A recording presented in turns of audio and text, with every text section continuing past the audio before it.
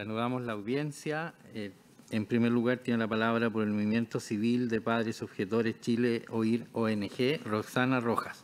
Hasta por 10 minutos. Tiene la palabra. Buenos días, sus señorías excelentísimas. Eh, represento a la ONG Padres Objetores Chile, formada por ciudadanos, abuelos y padres.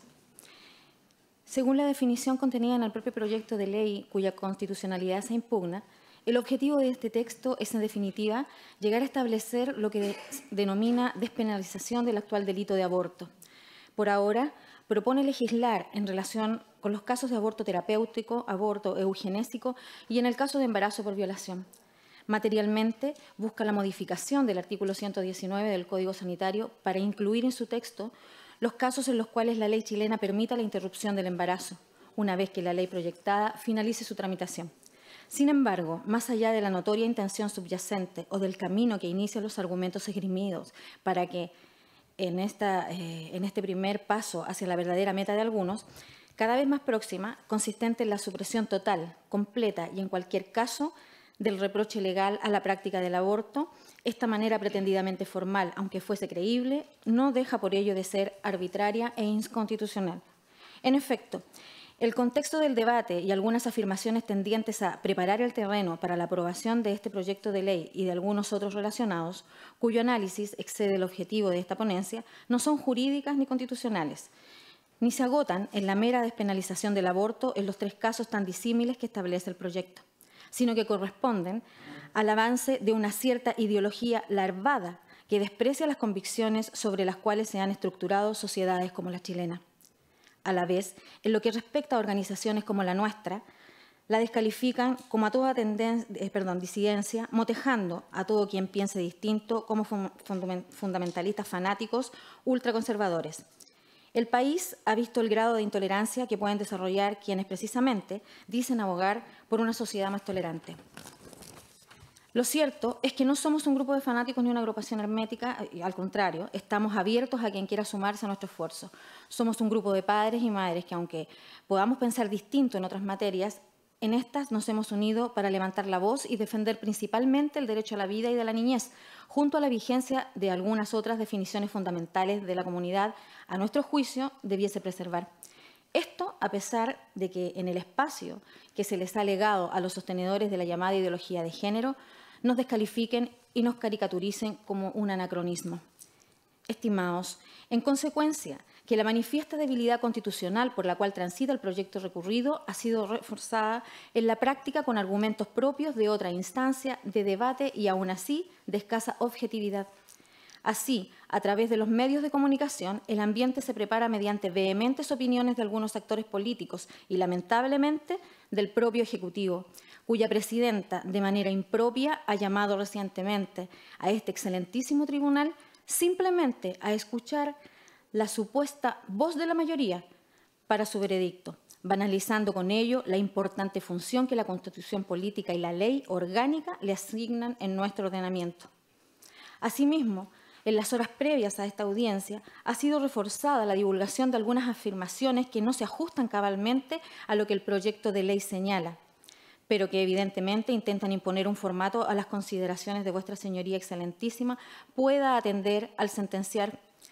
Un par de ellas se destacan, pues dejan en evidencia lo que sistemáticamente ha sido negado desde el Poder Ejecutivo, como es la condición del primer paso, que tiene esta norma si llega a promulgarse.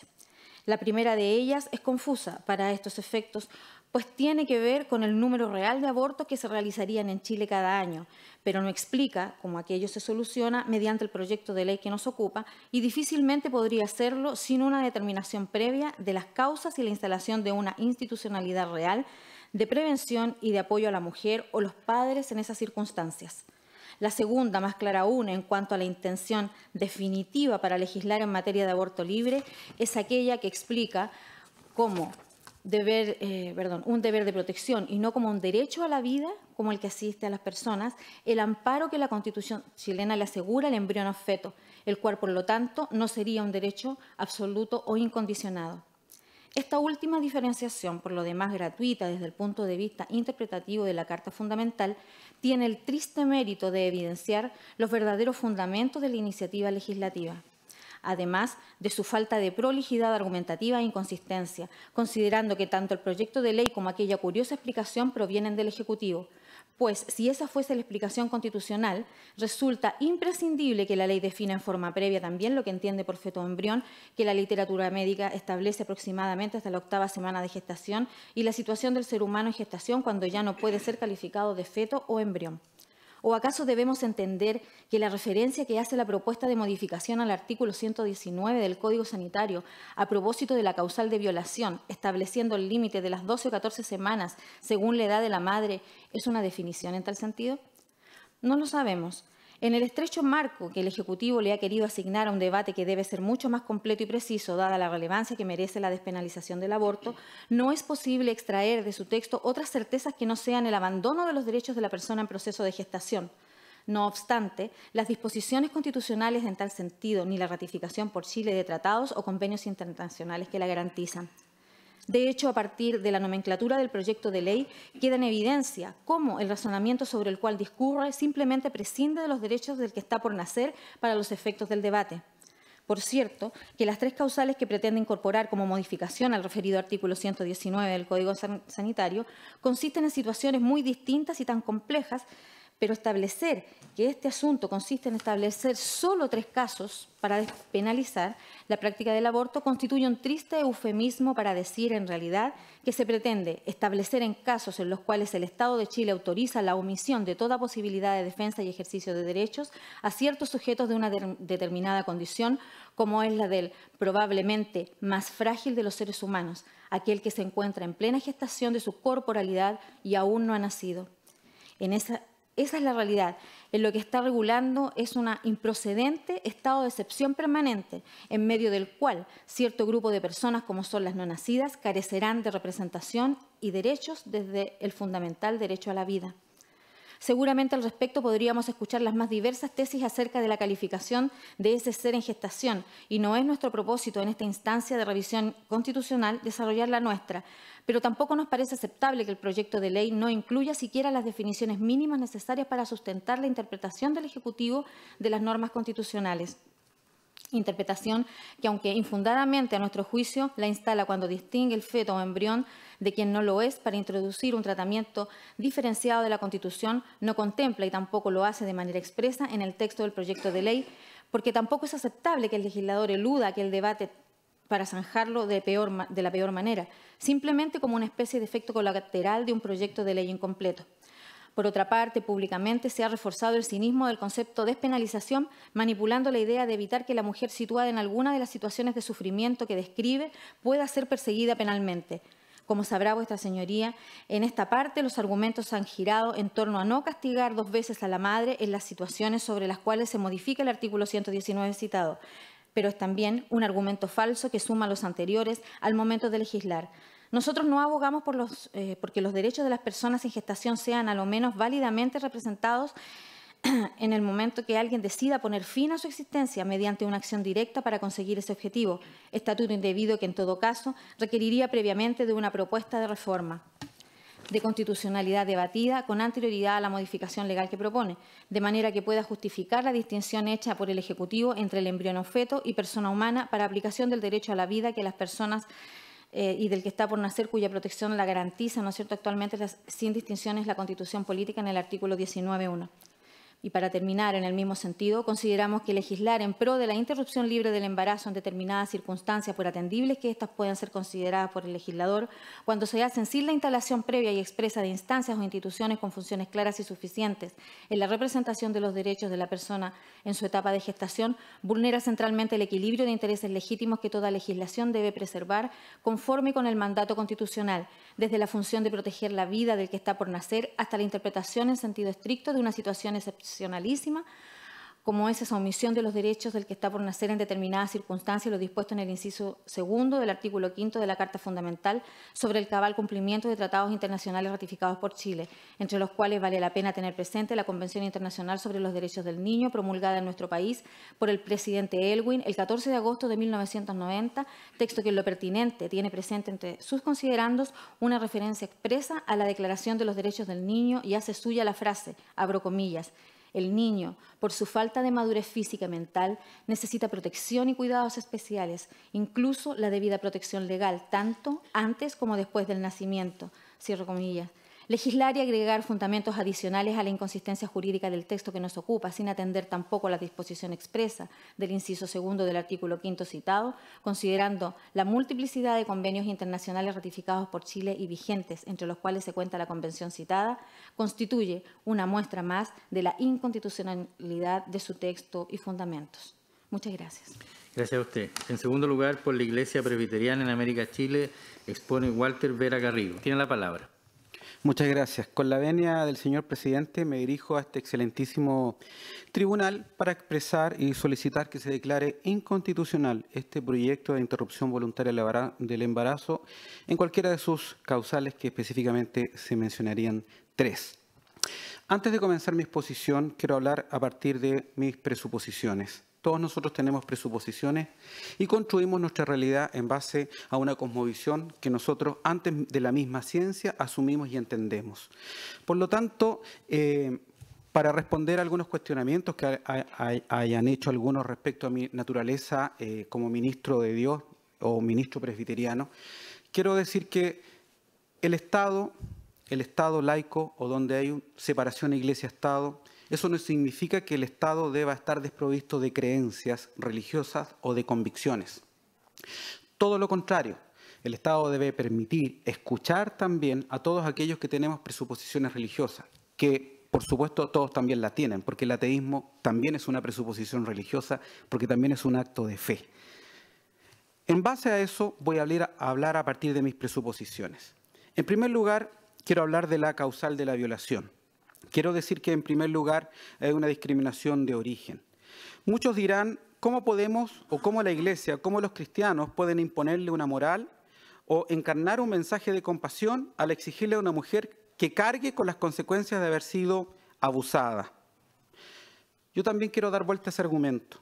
Y quiero decir que aquellos que dicen que no podemos venir con argumentos morales, también vuelvo a preguntar, ¿no es acaso un argumento moral también el aplicar pena de muerte al hijo que está por nacer y que más aún es indefenso y que no tiene forma alguna de poder defenderse? También tenemos argumentos morales ahí y sobre todo tenemos que defendernos, sobre todo tenemos que debernos por aquellos, por los más débiles de nuestra sociedad. Entonces, si nosotros tuviéramos que tipificar y caracterizar qué está sucediendo en este fenómeno de la causal de la violación, se trata de alguien que ha sufrido un grave mal y sabiendo todos de su inocencia, tenga no obstante que cargar con las consecuencias de este mal, consecuencias que le recuerdan muy vívidamente lo parecido. La pregunta entonces frente a esto es, ¿nunca se puede exigir que alguien cargue con tal peso? ¿Cómo podemos exigirle a una mujer que fue brutalmente sus derechos fueron eh, violados, desconocidos, que cargue con el producto, con el hijo que viene en camino cuando ella no lo quiso, es más, ni siquiera fue un acto de amor. Pero no nos confundamos. La sociedad, ya dentro de la sociedad encontramos ejemplos de esto, como también la sociedad carga con las consecuencias de ilícitos o de crímenes que la misma sociedad no ha cometido.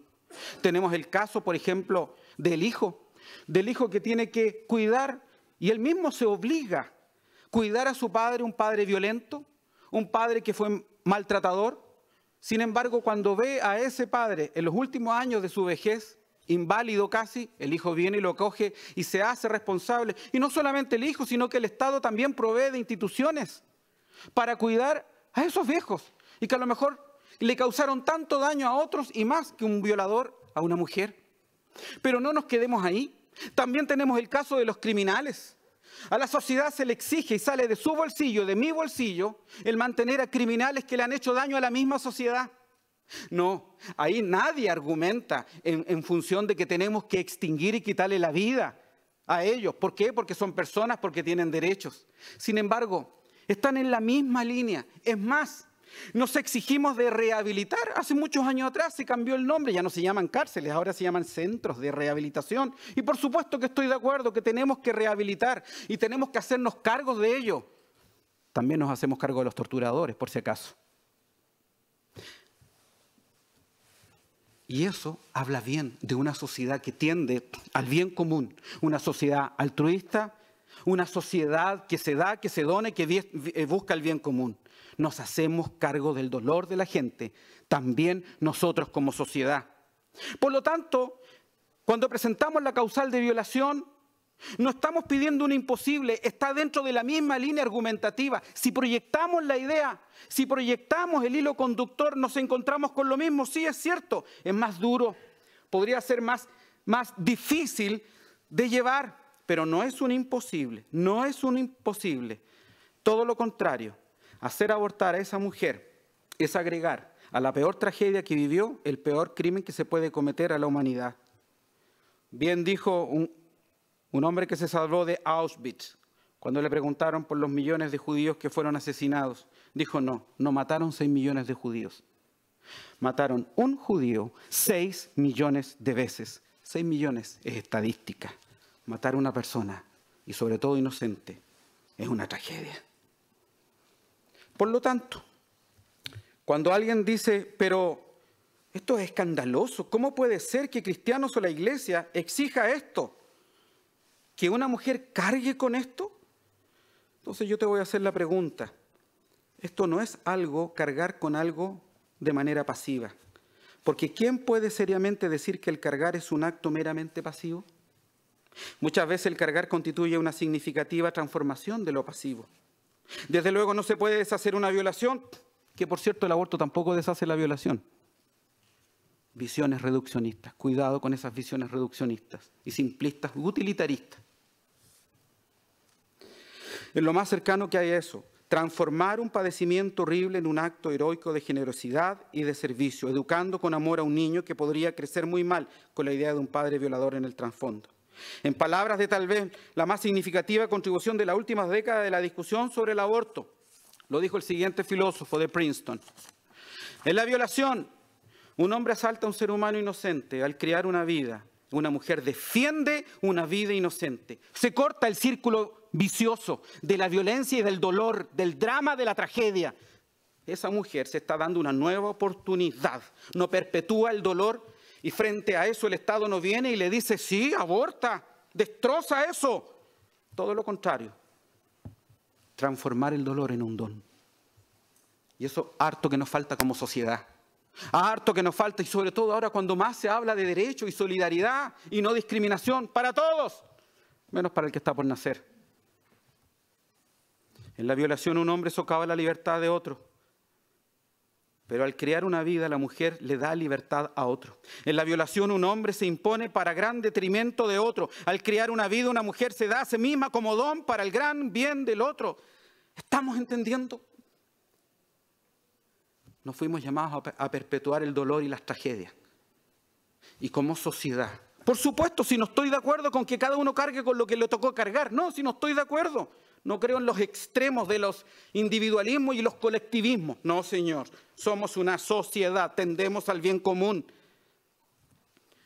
Por eso la alternativa tal lógica tampoco no es decir, no hay por qué cargar con esto.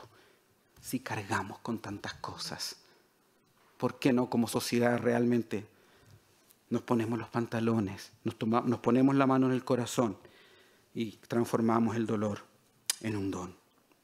En segundo lugar, la madre en riesgo, el aborto indirecto y el aborto terapéutico. Aquí sencillamente puedo hacer dos preguntas. ¿Es legítimo hacer casi todo lo posible para, para, salvar la propia vida? Y cuando digo casi todo lo posible es porque sí, hay que hacer casi todo lo posible. Y el casi es lo que no contempla el riesgo de vida de la madre. ¿Por qué no lo contempla? Porque hace una sinonimia. Emula que matar es igual a dejar morir, que no es lo mismo. Por eso no me gusta la palabra aborto terapéutico, porque no sana a nadie, no restaura a nadie. Es más, busca una acción directa sobre el hijo por nacer para supuestamente sanar a la mamá. Y aquí, dado el tiempo, quiero referirme a la lógica kantiana, que por ahí la escuché y fue muy mal aplicada con respecto a la ética formal de Emmanuel Kant, que sí era cristiano e hijo de un pastor luterano. Por supuesto que sí. Pero Kant, ¿qué nos dijo? Nunca tomes a las personas como un medio, sino como un fin. Eso dijo Kant. cuando yo digo, la madre está a punto, de, está corriendo riesgo de vida. Solución, matemos al bebé. Eso es tomar al bebé como un medio. Sabemos que la Lex Art, bien aplicada, bien aplicada y entendida, no busca eso. ¿Por qué? Porque nadie se le puede pedir lo imposible. Y cuando los médicos entienden muy bien que aplicando un tratamiento a la madre, buscando la vida y la salud de la madre y la integridad física de la madre, como consecuencia, fallece el bebé, ahí no hay aborto. Y esa es la distinción. Y tenemos que saber distinguir. Si alguien de ustedes me dice, pero es lo mismo, no me venga con esas, discusiones, con esas, con esas conclusiones utilitaristas. Sí, físicamente es lo mismo, moralmente no es lo mismo. Y cuidado con el mensaje que le damos a la sociedad con esto. Gracias. En tercer lugar, por la Fundación Roma expone Julio Alvear. Tiene la palabra. Con la venia de este excelentísimo tribunal, quisiera plantear que el proyecto de ley es un paquete de eufemismo, es una carga onerosa de eufemismo, porque es un proyecto que se plantea como excepción al artículo 19, número 1, inciso segundo de la Constitución, cuando en realidad lo que desea es establecer una regla. Y el artículo 19, número 1, eh, inciso segundo de la Constitución, desde el punto de vista lógico, desde el punto de vista de la teoría hermenéutica, desde el punto de vista interpretativo, eh, es susceptible de dos interpretaciones. Una interpretación declarativa, por la cual eh, se aplica a todos y cualquier caso, y una interpretación restrictiva, por la cual permite ciertas excepciones Excepciones que son, eh, de manera redundante lo digo, excepciones que tienen que ser realmente extraordinarias y limitarse a desproteger al nacituros. Pero el proyecto de ley que ha planteado su excelencia la Presidenta de la República no constituye una excepción a este mandato, constituye una violación, una infracción a este mandato. Y a varios títulos. En primer lugar, al título cuantitativo. La Presidenta de la República en la página 4 de su mensaje establece eh, una estadística de 32.992 casos de aborto. Este proyecto está destinado a incidir en esa realidad social no como, como excepción, sino como regla. Está llamado a aplicarse a un escenario masivo. No trata el aborto como un homicidio tolerado, como sería el caso de una excepción, sino como una política pública. Este proyecto también viola, infringe el mandato del artículo 19, número 1, inciso segundo, desde un punto de vista cualitativo. A muchos títulos quisiera abordar un solo título porque los otros los trato en la amiga oscuridades que presenté a este excelentísimo tribunal. Quisiera profundizar en lo que varios eh, ponentes en esta eh, audiencia pública han expresado que el aborto, no, el, proyecto de ley del aborto no despenaliza. El proyecto de ley del aborto establece un derecho de cobertura legal para exigir la práctica del aborto en tres causales que son universalizables, sobre todo la primera y la tercera, contando para ello con la disposición de todos los medios tecnológicos, médicos, humanos y financieros de los servicios de salud este derecho se estructura en dos momentos si uno revisa el proyecto de ley. Primer momento de la estructura de este derecho subjetivo, voluntad de interrumpir el embarazo debidamente manifestada. El primer momento, artículo 119, inciso segundo a noveno del proyecto del Código Sanitario. Eh, porque el proyecto no incide tanto en el Código Penal, el proyecto incide en el Código Sanitario, porque no se trata de despenalizar, se trata de conceder un derecho. Y el segundo momento, las prestaciones que son debidas, son un conjunto de prestaciones debidas al titular de este derecho una vez que ha manifestado su voluntad, artículo 119 bis, inciso primero y tercero, y artículo 119, incisos 10 al 14. Este derecho está tan perfectamente conformado que llama la atención, eh, porque está conformado en cuanto a su objeto, está conformado en cuanto a su contenido, está conformado en cuanto a su fundamento, excelentísimo tribunal. Este es un derecho que está conformado incluso en algo que es difícil encontrar en Chile. Es un derecho universal y asegurado en su financiamiento. Está conformado en cuanto a su objeto. El objeto es un derecho subjetivo en la materia sobre la cual recae. Es un derecho cuyo objeto es la eliminación directa, voluntaria, de la vida de no nacido. Ese es el objeto de este derecho. El contenido. El contenido es el conjunto de facultades que inciden en el objeto. Las facultades son todas aquellas prestaciones médicas, tecnológicas y humanas que se pueden pedir para llegar a ese fin, eliminación directa, voluntaria de la vida de no nacido. Este proyecto también tiene su propia naturaleza en cuanto al derecho. Es un derecho, se ha dicho, un derecho de prestación. Es más que un derecho de prestación. Desde el punto de vista técnico es un derecho de exigencia que va más allá del derecho de prestación, porque incluye prestaciones actuales y las prestaciones potenciales. Perdón, es un derecho que establece un jus in rem y un jus ad rem, un derecho a acceder a prestaciones futuras, cualquiera que ellas sean, para lograr el objeto que es la eliminación directa, voluntaria de la vida no nacido. Es un derecho que tiene un fundamento, y acá está el eufemismo, porque el proyecto habla de eh, interrupción voluntaria del embarazo. Señores ministros, el embarazo no se puede interrumpir. El embarazo no se interrumpe. Se interrumpe un proyecto que se suspende para luego continuar. Eso es la interrupción. Acá no hay interrupción, acá hay la destrucción del ciclo vital. La destrucción, empleemos las palabras como corresponde, no con eufemismo. Eufemismo significa decir de manera dulce, de manera séptica, aquello que no queremos decir de manera frontal porque choca. No es la interrupción del embarazo. Interrupción voluntaria tampoco voluntaria, porque no se escuchan todas las voluntades. Se escucha la voluntad de la madre cuando quiere matar a la criatura que está en el vientre materno. Ahí se escucha la voluntad de la madre. No se escucha la voluntad del padre. No se escucha la voluntad de la familia. No se escucha la voluntad del equipo médico, del médico cirujano, al cual el artículo 119 obliga, 119 ter, eh, ter obliga, ¿no es cierto?, a la objeción de conciencia en determinados casos y elimina la posibilidad de que el resto del equipo médico y, el personal sanitario pueda objetar de conciencia. Eh, por tanto, no hablamos de cualquier voluntad. Hay una voluntad que se escucha, la voluntad de eliminar a la criatura que está en el vientre materno. El fundamento de este proyecto, si ustedes, señoría, excelentísima, analizan el mensaje del proyecto, analizan la manera en que ha sido redactada el artículo 119, 119 bis y 119 ter, y analizan las normas por las cuales operan, ¿no es cierto?, estas disposiciones, nos vamos a dar cuenta que el fundamento no es la despenalización del aborto. el fundamento es que la afección directa, intencionada de la vida que está por nacer, que ha de morir para que la madre exprese su autonomía decisoria su decisión autónoma de decidir de una manera soberana desde el punto de vista subjetivo. Esto es propio de las ideologías de las filosofías post-marxistas, liberacionistas. En el Amigos Curiaes que yo presenté, eh, una serie de autores, la literatura especializada ha tratado esta ideología, post-marxista, liberacionista, un modo especial de entender la autonomía, que no es como el resto de las personas entendemos la autonomía. Porque si hay autonomía, dejen a las personas que quieren oponerse al aborto, oponerse.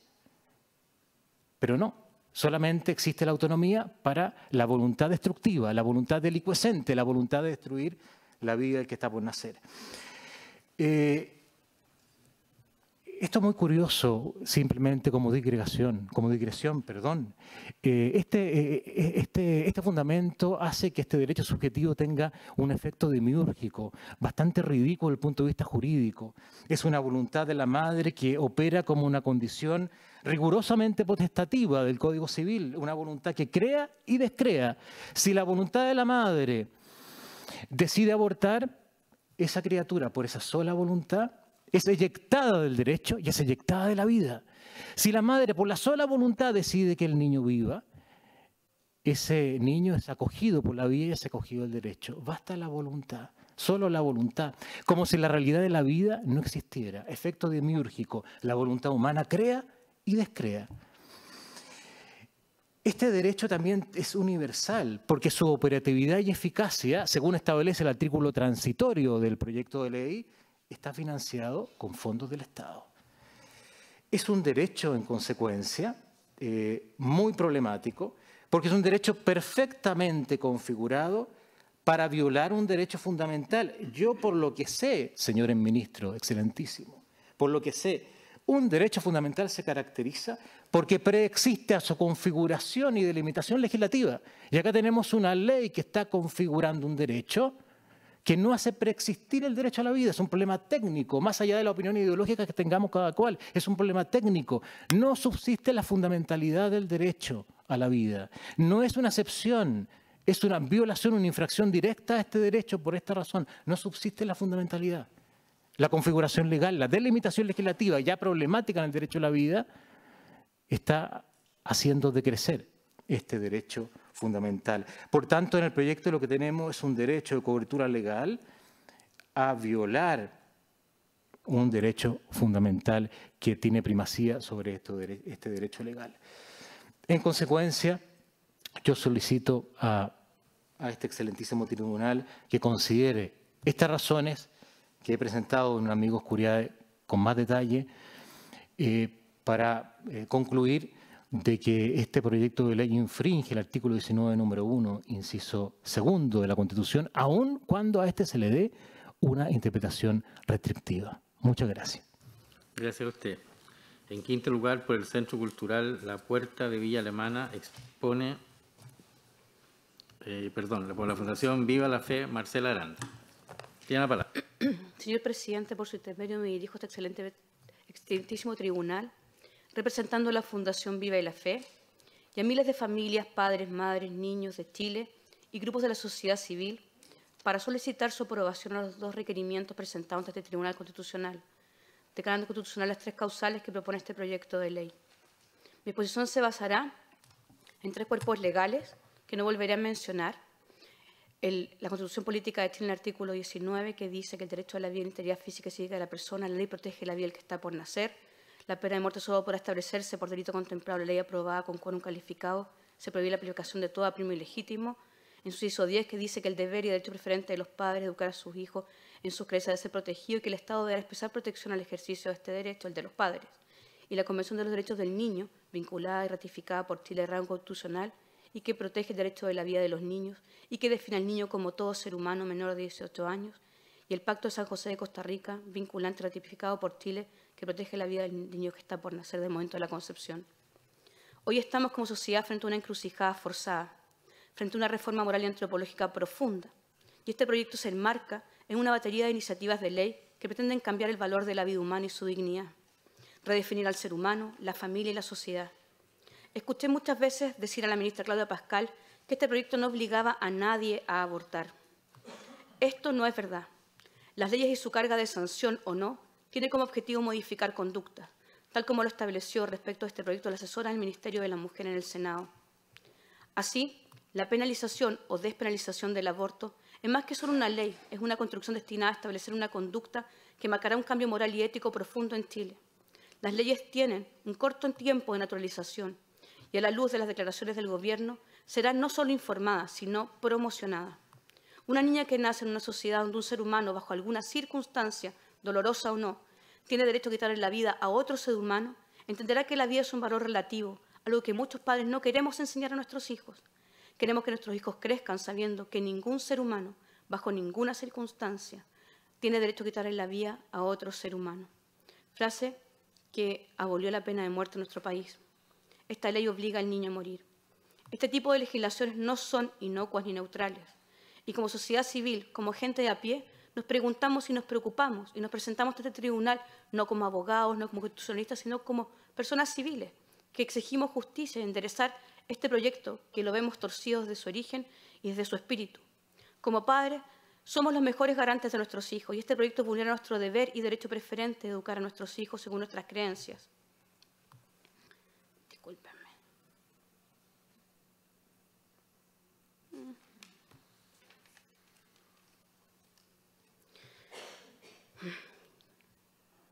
Pero más que un derecho, vulnera lo que dio origen al reconocimiento de esta, posición como padres.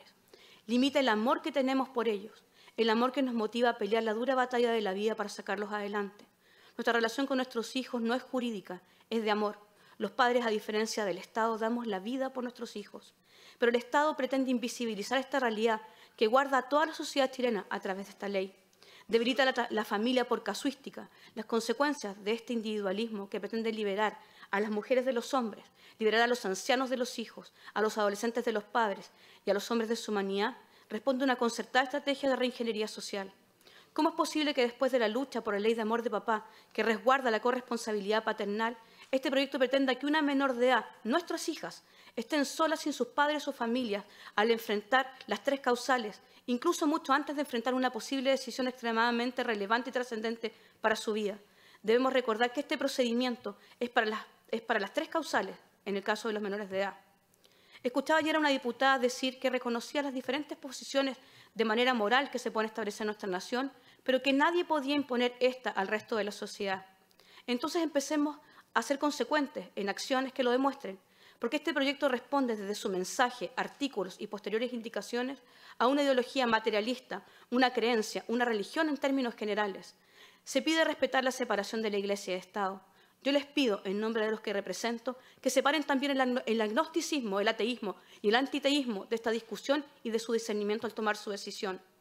Claramente estamos detrás de una ideología que está permeando a Chile a través de casuística extrema y sensible y de alto impacto mediático que pretende debilitar nuestra soberanía, nuestro deber y derecho preferente de educar a nuestros hijos y el valor de la vida.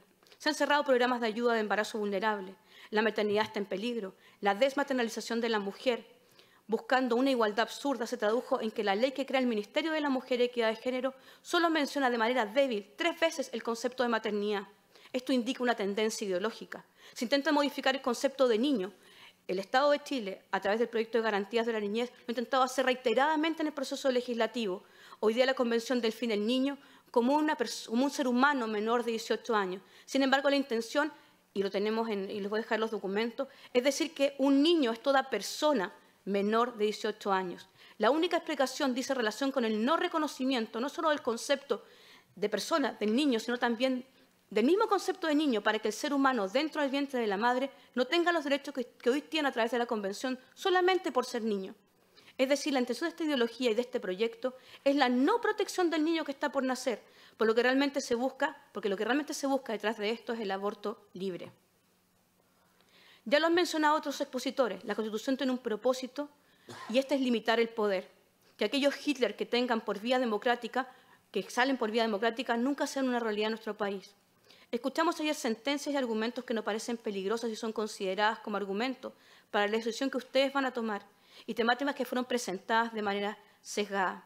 Se nos dijo que más del 70%, la presidenta, entre el 70 y el 80% de los chilenos, con un margen en ese porcentaje de más de 1.700.000 chilenos, estaban a favor del aborto. No es cierto. No hay 11.900.000 chilenos ni 13.600.000 chilenos que están de acuerdo con el aborto. Muy por el contrario, hoy en el Senado de la República de Chile existe una plataforma llamada Senador Virtual, que cumple con la función de manifestar la opinión de la ciudadanía respecto de alguna iniciativa de ley. Duró tres meses esta encuesta y el resultado fue un 73 y abrumador eh, em, em, propuesta en contra del proyecto de aborto, con solo un 26 a favor. No olvidemos que esta es una plataforma oficial del Poder Ejecutivo donde hay inversión pública y que debería servir como una orientación para senadores y diputados respecto a las iniciativas de ley. Este proyecto, y me da la razón los expositores que se manifestaron en contra de estos requerimientos, responde a una visión ideológica y una fuerte presión internacional donde Chile ha asumido compromisos lejos del respeto de la soberanía de nuestra nación. Lo vemos en declaraciones como la siguiente. Ayer escuchamos los países Chile, en este caso, debe ajustar su legislación a los instrumentos internacionales ratificados por Chile que se encuentren vigentes, pero también a los pronunciamientos y a, las interpretaciones de estos y a sus organismos de supervisión.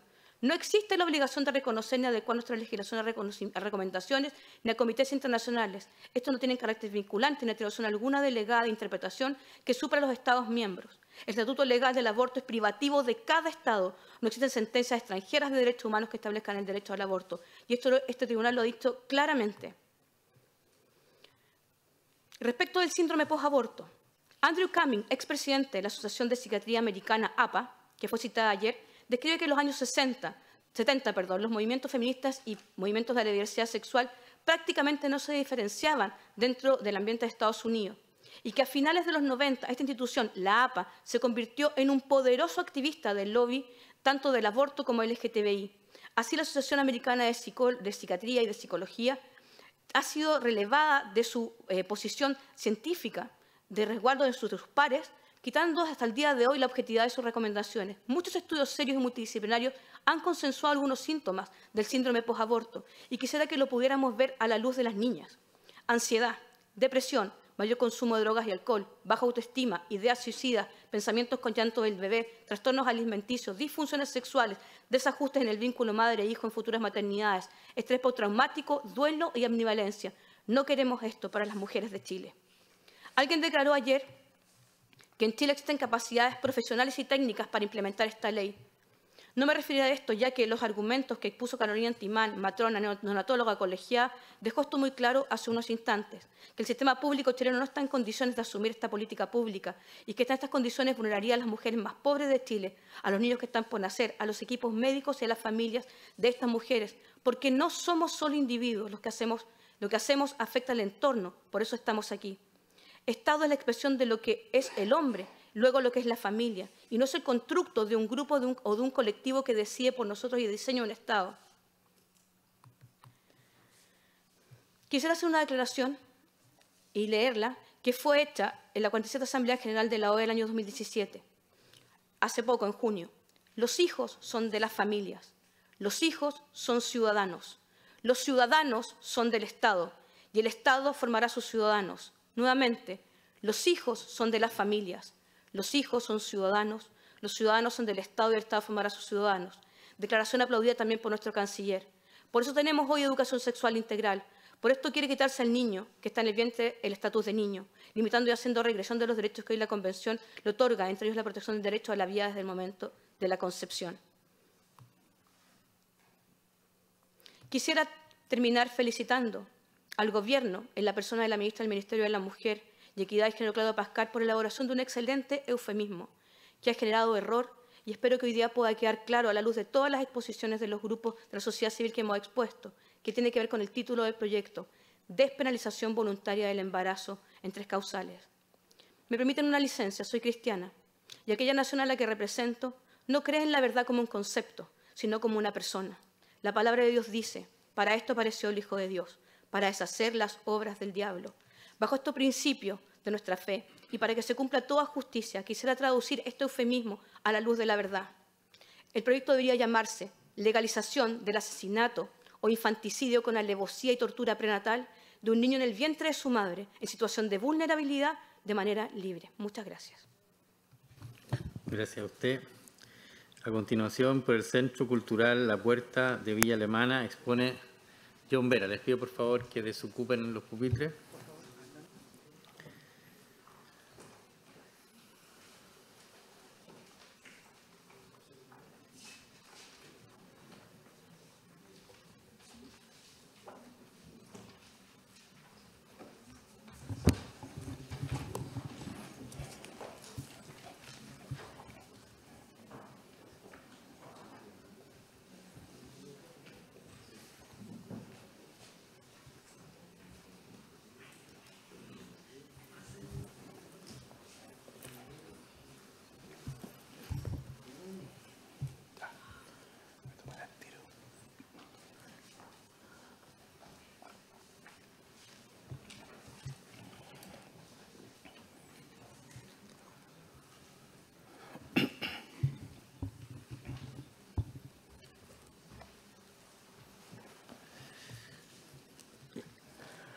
Entonces, por el Centro Cultural La Puerta Villa Alemana, expone John Vera. Tiene la palabra hasta por 10 minutos. Buenas tardes, señor presidente. Con la venia de este excelentísimo Tribunal Constitucional, represento al Consejo de Defensa del Evangelio y la Iglesia Apostólica Profética Jesús Señor de Todo de Villa Alemana. Soy cientista criminalístico, perito criminalístico y técnico jurídico. Y me quiero referir a las tres numerales del proyecto en comento. Primero, quisiera referirme a los alcances de la criminalística en el proyecto de ley que regula la despenalización de la interrupción voluntaria del embarazo en tres causales, correspondiente al boletín 9895-11, proyecto de ley recurrido, que es inconstitucional. En esta sede constitucional podemos apreciar la vulneración que provoca este proyecto de ley contra el orden constitucional vigente establecido en el artículo 19, número 1, inciso 2 de la Constitución, que dice la ley protege la vida del que está por nacer. Quiero hacer una antesala, honorable Tribunal Constitucional, y mi más irrestricto rechazo a las declaraciones en contra de este excelentísimo Tribunal Constitucional en los medios de comunicación social, donde se ha hablado de poca competencia, de verificar la ilegalidad e de proyectos de ley que colisionan con la Constitución y la ley. Palabras que han lesionado el derecho.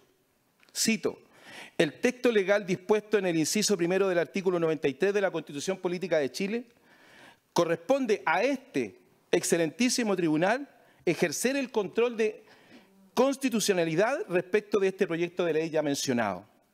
Creo en el Estado de Derecho, en su principio de legalidad contemplado en la Constitución, en el artículo 6, que los órganos del Estado deben someter su acción a la Constitución y a las normas dictadas conforme a ella. Quiero marcar un, precedente histórico y jurídico acerca de la Biblia, diciendo desde mi foro interno que es una fuente formal del derecho y debe ser considerada por este excelentísimo Tribunal Constitucional desde la mirada de la doctrina, citando en este contexto a autores como dice el apóstol Juan capítulo 11 versículo 25 dice, Jesús es la resurrección y la vida. Nos llama a la vida y no asesinar a los que están en el vientre materno. El rey David en sus salmos en el capítulo 139 versículo 16 dice, tus ojos, oh Dios, vieron el embrión y en tu libro se escribieron todos los días que me fueron dados. El libro de Hechos en el capítulo 25 versículo 11 el apóstol Pablo hace una apelación. Hoy apelo al beneplácito del excelentísimo tribunal y de los ministros que están presentes, que consideren la Biblia como una fuente formal del derecho para decidir por la vida del que está por nacer. A continuación me refiero a las tres causales de este proyecto de ley. Uno, la mujer se encuentra en riesgo vital de modo que la interrupción del embarazo evite un peligro para su vida. Hay una fuente formal del derecho que esgrime muchos argumentos de que los que atentan contra la vida del que está por nacer es un asesinato.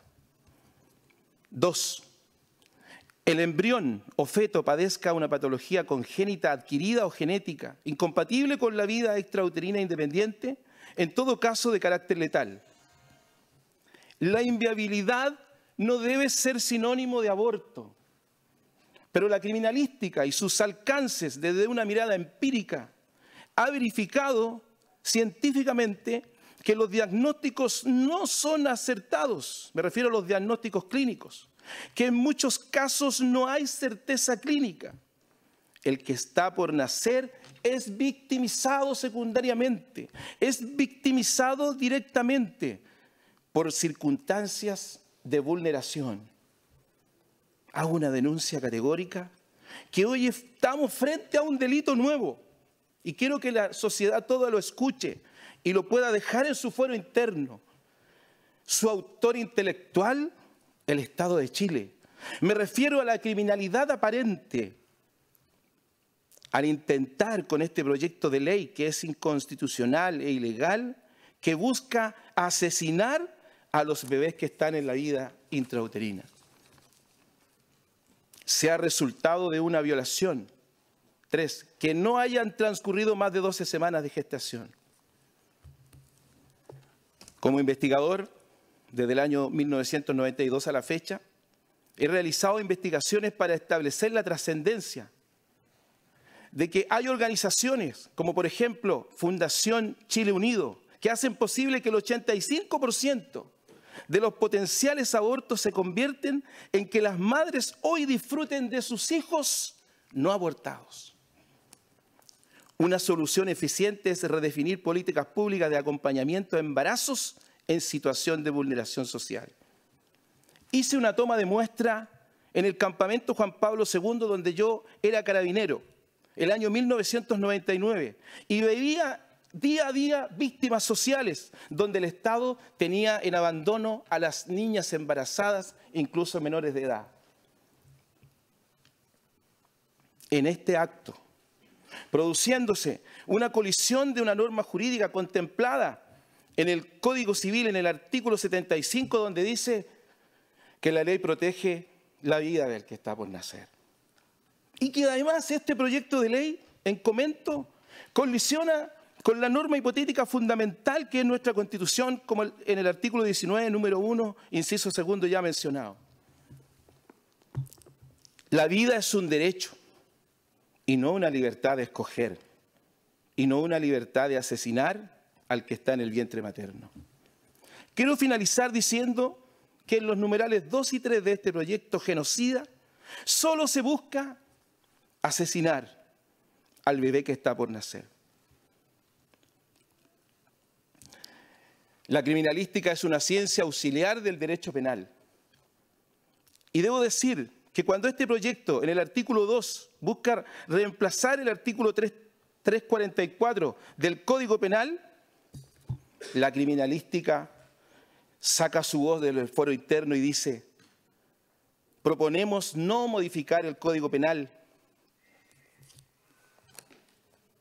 ya que este proyecto busca afectar el imperio del derecho y el espíritu general de la ley penal.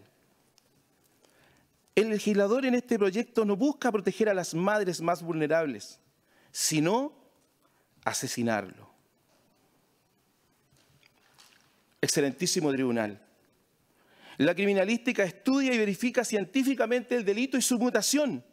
Debo decir que del año 92 a la fecha se ha mutado en sectores de riesgo social y en grupos anómicos de alta alcurnia de esta sociedad chilena. Delito que debe ser contenido y no legalizado. Me refiero al delito del aborto.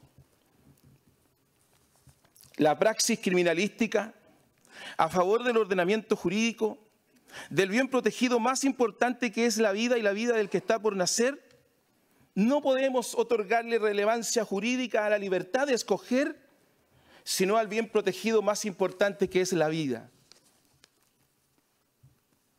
Soy recalcitrante en esta hora en hablar de la fuente formal del derecho desde el punto de vista de la doctrina y de la doctrina constitucional que aborda la criminalística. Debo citar al señor Randy Alcorn, que brillantemente expone no solo la verdad del aborto como un asesinato clínico, sino la verdad de una criatura humana que vive en la vida intrauterina y que ha sido afectada por leyes por el cual ellos no pueden defenderse. Debo decir, la apariencia de los niños abortados es claramente humana y restos físicos indican el final de una vida real. El horror del aborto ilegal es el mismo que va a provocar este proyecto de ley. Me refiero también a uno de los efectos como es el suicidio. Ruego a este excelentísimo Tribunal Constitucional considerar la jurisprudencia del rol 740-2007, que estableció que el niño intrauterino es persona, sujeta a derecho. Cito, en los considerandos 49 se señala que la protección constitucional de la persona se inicia desde el momento de la concepción. Como iglesia, como parte de esta sociedad, mi más irrestricto rechazo al proyecto de ley recurrido. Dios bendiga a Chile. Y cito las escrituras, Isaías 61.8. Jehová es amante del derecho y decreto que este proyecto del aborto en sus tres causales es inconstitucional. Muchas gracias. Gracias a usted. A continuación, por el Centro de Integración Cultural, el Taller del Maestro, expone Ezequiel González Sepúlveda. Tiene la palabra. Buenos días, señor presidente. Con la venia de este excelentísimo Tribunal Constitucional, me quiero referir al proyecto de ley del aborto. Actualmente en Chile, cuando una madre queda embarazada, lo primero que le pregunta el matrón en el centro de salud es si su embarazo es deseado o no deseado, planteando una pregunta con una respuesta preconcebida. ¿Qué pasa si mi hijo no fue planificado? Automáticamente se asume que es un hijo no deseado. Por lo tanto, si una mujer tiene un embarazo no deseado, es decir, no planificado, tiene que idealmente abortar a su hijo porque este es el paradigma planteado desde el Estado. Y se fortalecerá más aún cuando asumimos la causal del aborto por motivo de violación, condenando mediante este paradigma a todas las personas que fueron concebidas por violación a la muerte. Dos, el concepto de interrupción, según la Real Academia Española, significa cortar la continuidad de algo en el lugar o en el tiempo. Es decir, que la interrupción del embarazo sería cortar la continuidad de la vida del ser humano en su primera etapa de desarrollo. La ciencia, desde aspectos biológicos y psicológicos, establece distintas etapas entre ellas la etapa prenatal, infancia, niñez, adolescencia, etc. María Eugenia Mancilla. Por lo tanto, la definición y el valor que adquiere el ser humano que se encuentra en el vientre de la madre no es un tema de discusión filosófica entre la Iglesia y los movimientos feministas. Tampoco el valor del ser humano es algo que dependa del estado emocional, económico y físico de una persona. El valor del ser humano es el mismo independiente de su sexo, edad, condición económica, posición social e independiente de su raza.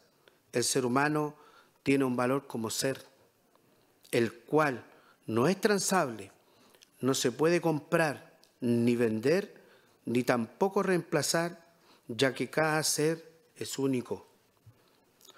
Por ello, cuando hablamos de la causal número uno, cito, se autoriza la interrupción del embarazo por un médico cirujano cuando la mujer se encuentre en riesgo vital, de modo que la interrupción del embarazo evite un peligro para su vida. Quedará a criterio del médico tal asunto, pero es importante recalcar que siempre se debe buscar salvar a ambos ya que la vida de cada uno tiene el mismo valor. Situación que se ha cuestionado por diversos miembros del Congreso y movimientos feministas. Estos aspectos no son aclarados en la ley, la cual se ha discutido con urgencia y no ha abordado los puntos centrales en cuanto a la importancia del ser humano. El proyecto de ley aborto en tres causales tiene un fin mayor a futuro, el cual es promover la libertad del aborto en caso de embarazos no deseados, independientemente del estado de salud de la madre o del hijo.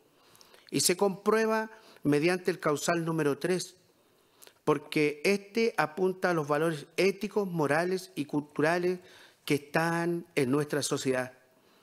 Es por eso que nos oponemos a que en casos que el bebé y la madre no tienen riesgos vitales, sea asesinado un ser humano, ya que éste, al ser incluso más vulnerable que otras personas, debe seguir siendo protegido por la Constitución de la República de Chile.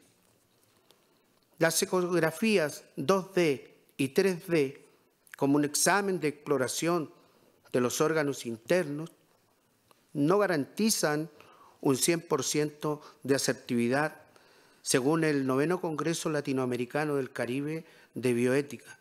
Según la revista mexicana de Coloctrología, entre otros estudios, establecen que el 85% de la ecografía tienen un diagnóstico correcto, mientras que el resto tiene un diagnóstico erróneo o incompleto.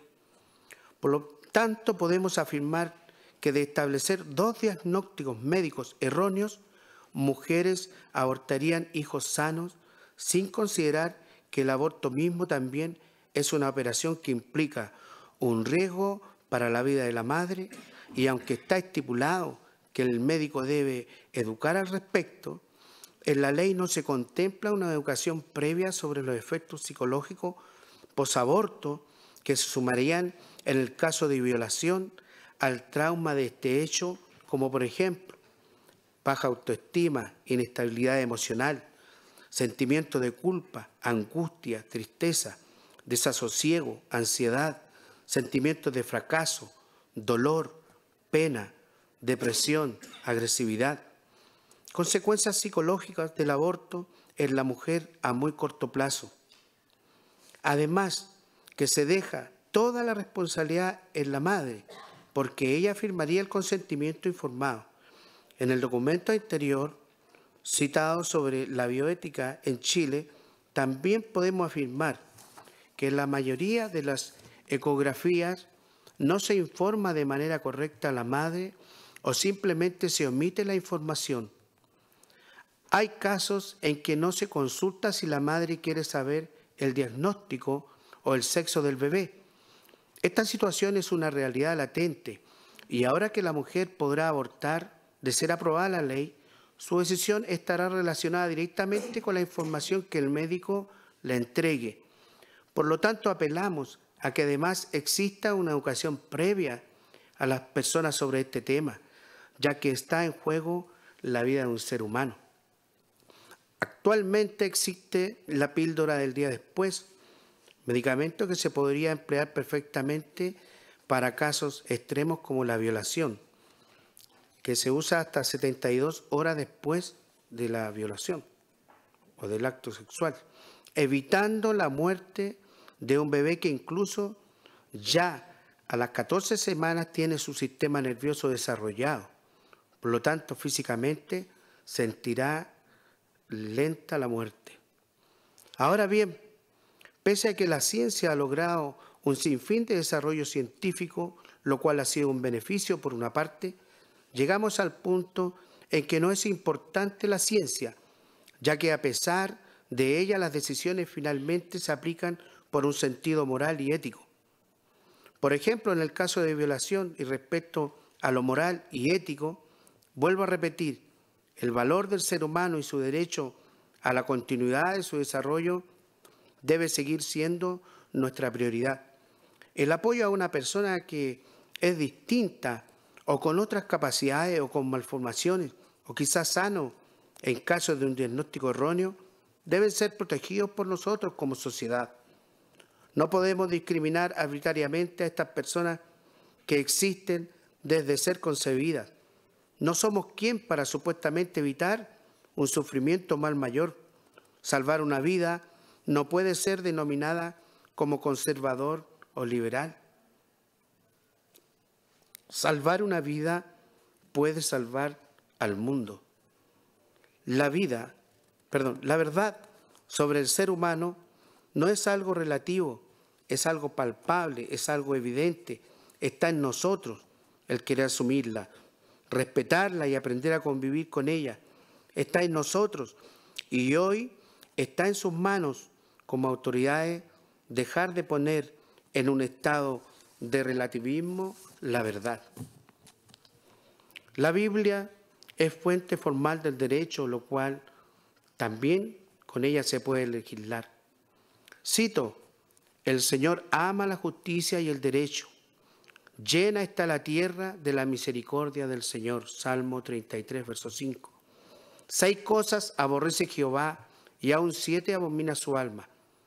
Los ojos altivos, la lengua mentirosa y las manos derramadoras de sangre inocente. Proverbio capítulo 6, versos 16 y 17. Oh hombre, Él te ha declarado lo que es bueno. ¿Y qué pide Jehová de ti? Solamente hacer justicia, amar misericordia y humillarte ante tu Dios. Y en Miqueas capítulo 6, verso 8 dice, He aquí yo pongo hoy delante de vosotros la bendición y la maldición. La bendición si oyereis los mandamientos de Jehová vuestro Dios, que yo os prescribo hoy. Y la maldición si no oyereis los mandamientos de Jehová vuestro Dios, y yo apartareis del camino que yo os ordeno hoy. Deuteronomio 11, 26, 27.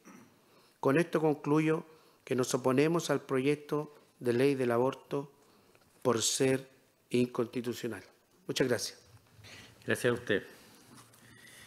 Enseguida, por el Centro de Desarrollo de Justicia Constitucional de la Universidad del Desarrollo, expone José Manuel Díaz de Valdés. Tiene la palabra. Gracias. Con la venia de su señoría excelentísima, en representación del Centro de Justicia Constitucional Universidad del Desarrollo, quisiera agradecer la oportunidad de participar en esta audiencia pública. La verdad es que a nosotros lo que en esta presentación quisiéramos destacar es la preocupación por la coherencia de la dogmática constitucional, por la, esa coherencia que emana de los fallos de este tribunal sobre todo, ¿cierto? Y que es la fuerza vinculante o la fuerza fundamental, digamos, que eh, le da autoridad a, lo que dice este tribunal. Y de ese punto de vista, lo que quiero hacer brevemente es tocar tres o, cuatro puntos, si me da el tiempo, ¿cierto?, que aspiran a hacer consideraciones o consecuencias sistémicas de lo que ustedes, eh, señores ministros, van a decidir en este caso y que van mucho más allá de este caso. En primer lugar, ¿cierto? hay un tema de titularidad de los derechos fundamentales. Este caso, querámoslo o no, ¿cierto? Versa sobre la personalidad o no personalidad del no nacido. Porque si es persona y tiene derechos fundamentales, ¿cierto? Y no puede utilizarse como medio, como, nunca como medio, sino solo como fin, la verdad es que aborto es bien difícil, ¿cierto?, que pueda ser constitucional. Ahora, no tengo tiempo para explicarme en este punto, pero sí quisiera decir que lo que ustedes resuelvan, señores ministros, en esta materia va a tener una serie de consecuencias en discusiones que vienen. Estoy pensando ¿cierto? en discusiones sobre clonación, sobre manipulación genética, sobre embarazo fuera del vientre, sobre alquiler de vientre, etcétera, etcétera, etcétera. Esto no es solo para este caso. Es una, la titularidad de derechos fundamentales debe aclararse pensando en toda esta discusión a futuro. Sobre este punto solo quisiera agregar como ya se ha dicho en otras exposiciones, que hay un precedente del tribunal.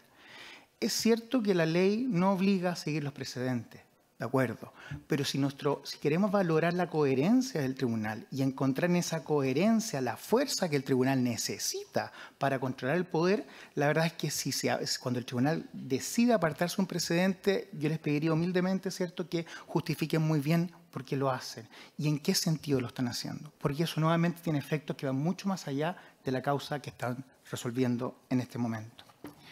Un segundo tema que quisiera eh, tomar, digamos, sistémico, que ya algo se ha avanzado, es nuestra preocupación de que este proyecto subrepticiamente está avanzando un derecho fundamental a abortar.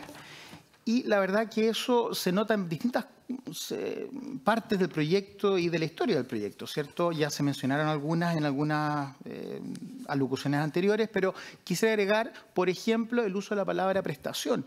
Prestación, como ustedes muy bien saben, señores ministros, en derechos fundamentales tiene un significado bien preciso, ¿cierto? Prestación es una acción estatal que sirve de contrapartida a un derecho fundamental, no es cualquier cosa.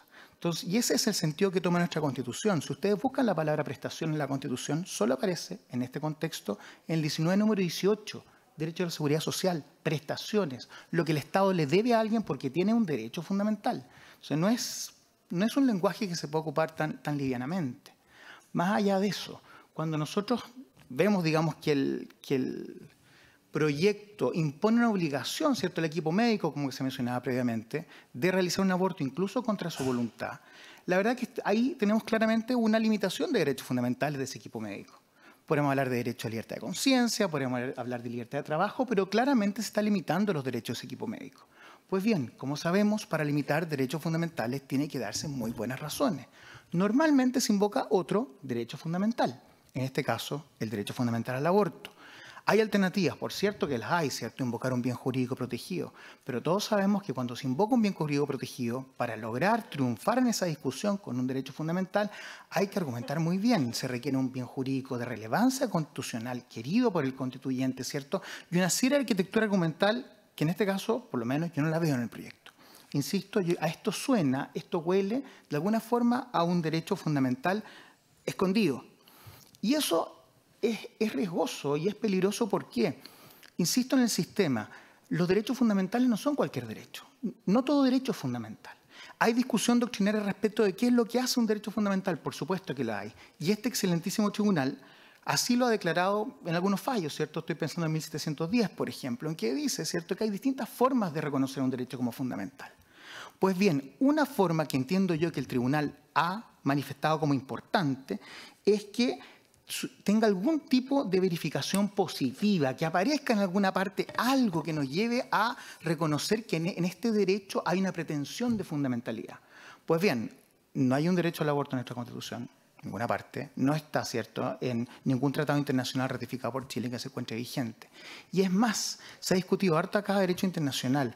La verdad es que yo creo que en esto hay que mirar no solamente la Corte Interamericana, que en el caso de Artavia jamás estableció un derecho al aborto, sino también incluso la Corte Europea de Derechos Humanos. ¿Por qué? Porque la Corte Europea es una corte supranacional en que muchos de sus ordenamientos jurídicos nacionales sí reconocen el aborto. Sin embargo, cada vez que se le ha preguntado a la Corte Europea si hay un derecho al aborto en la Convención de Derechos Humanos Europea, ha dicho no, y lo ha hecho en forma expresa, explícita. Cito al respecto como último mm, caso mm, conocido este, en este tema, ABC versus Irlanda. Espero que los señores ministros puedan familiarizarse porque la Corte es muy, muy clara. En definitiva, un derecho fundamental al aborto tampoco cumple con las funcionalidades de un derecho fundamental clásica. No es un derecho, ¿cierto?, concebido como triunfo, como esta idea de que yo invoco el derecho y la actividad estatal, ¿cierto?, cesa o la restricción. La literatura feminista, ¿cierto?, al respecto habla del derecho al aborto como una especie de derecho al diálogo con el Estado, a regular en qué casos sí y en casos no. Eso no es un derecho como lo conocemos, un derecho fundamental como lo conocemos tampoco cumple con el fin de un derecho fundamental de darle consistencia lógica y sistematización al ordenamiento jurídico, esta dimensión objetiva que llama nuestro Tribunal Constitucional, ¿cierto? ¿Por qué? Porque aquí, digamos, en el acto de, disponer del, no nacido, no hay un contenido axiológico que sirva de interpretación para el, para el sistema jurídico o de inspiración o de legitimización que es propio de todo derecho fundamental. No sirve para eso. Puedo seguir, digamos, tengo poco tiempo, un ejemplo más. Eh, es tan claro que el derecho al aborto no puede ser considerado un derecho fundamental, a mi juicio, que incluso literatura feminista muy, muy influyente, estoy pensando en Catherine McKinnon, por ejemplo, gran líder feminista, ¿cierto?, no lo reconoce como derecho fundamental. Lo trata como un aspecto transicional, dice ella, como una válvula de escape frente a una sociedad patriarcal y opresora. Termino entonces diciendo que, en este respecto, que reconocer un derecho así sería la confusión total desde el punto de vista dogmático. Y no solo eso, tendría consecuencias prácticas tremendas. ¿Por qué? Porque si realmente es un derecho fundamental, no tiene sentido este proyecto de violación en tres causales. Ninguno. Porque como derecho fundamental, lo normal es que pueda ejercerlo. La excepción es lo, es lo extraño, digamos, ¿cierto? Que yo no pueda ejercerlo. Por tanto, el día de mañana podríamos tener proyectos de aborto mucho, mucho más amplios, digamos, incluso aborto libre, y eso sí diría relación con un derecho fundamental al aborto. La excepción, insisto, es lo que tendría que justificarse un punto más.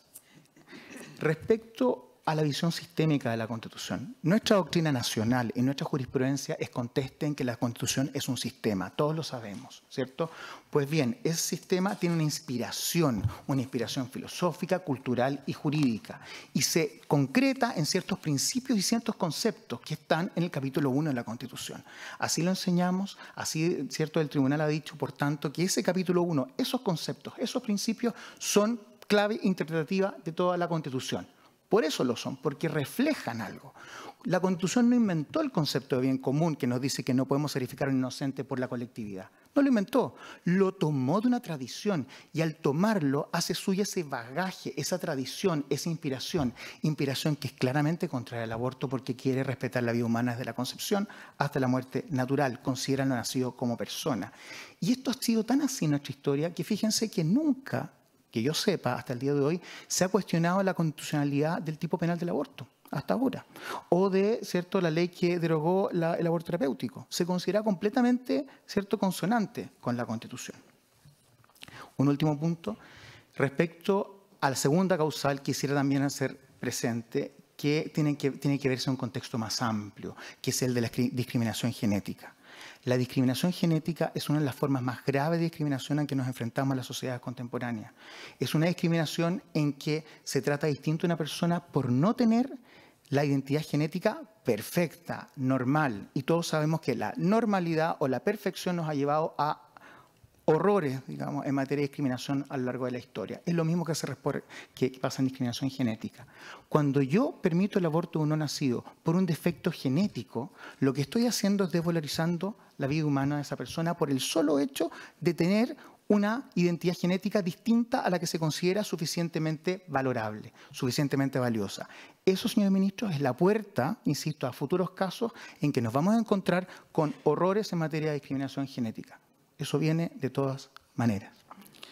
Termino entonces, su señoría, eh, solicitando que al controlar la constitucionalidad de este proyecto, custodien la coherencia dogmática constitucional de los fallos de este tribunal y tengan a la vista que al zanjar lo que están zanjando hoy día, ustedes están predecidiendo una serie de materias que van a venir en los próximos años.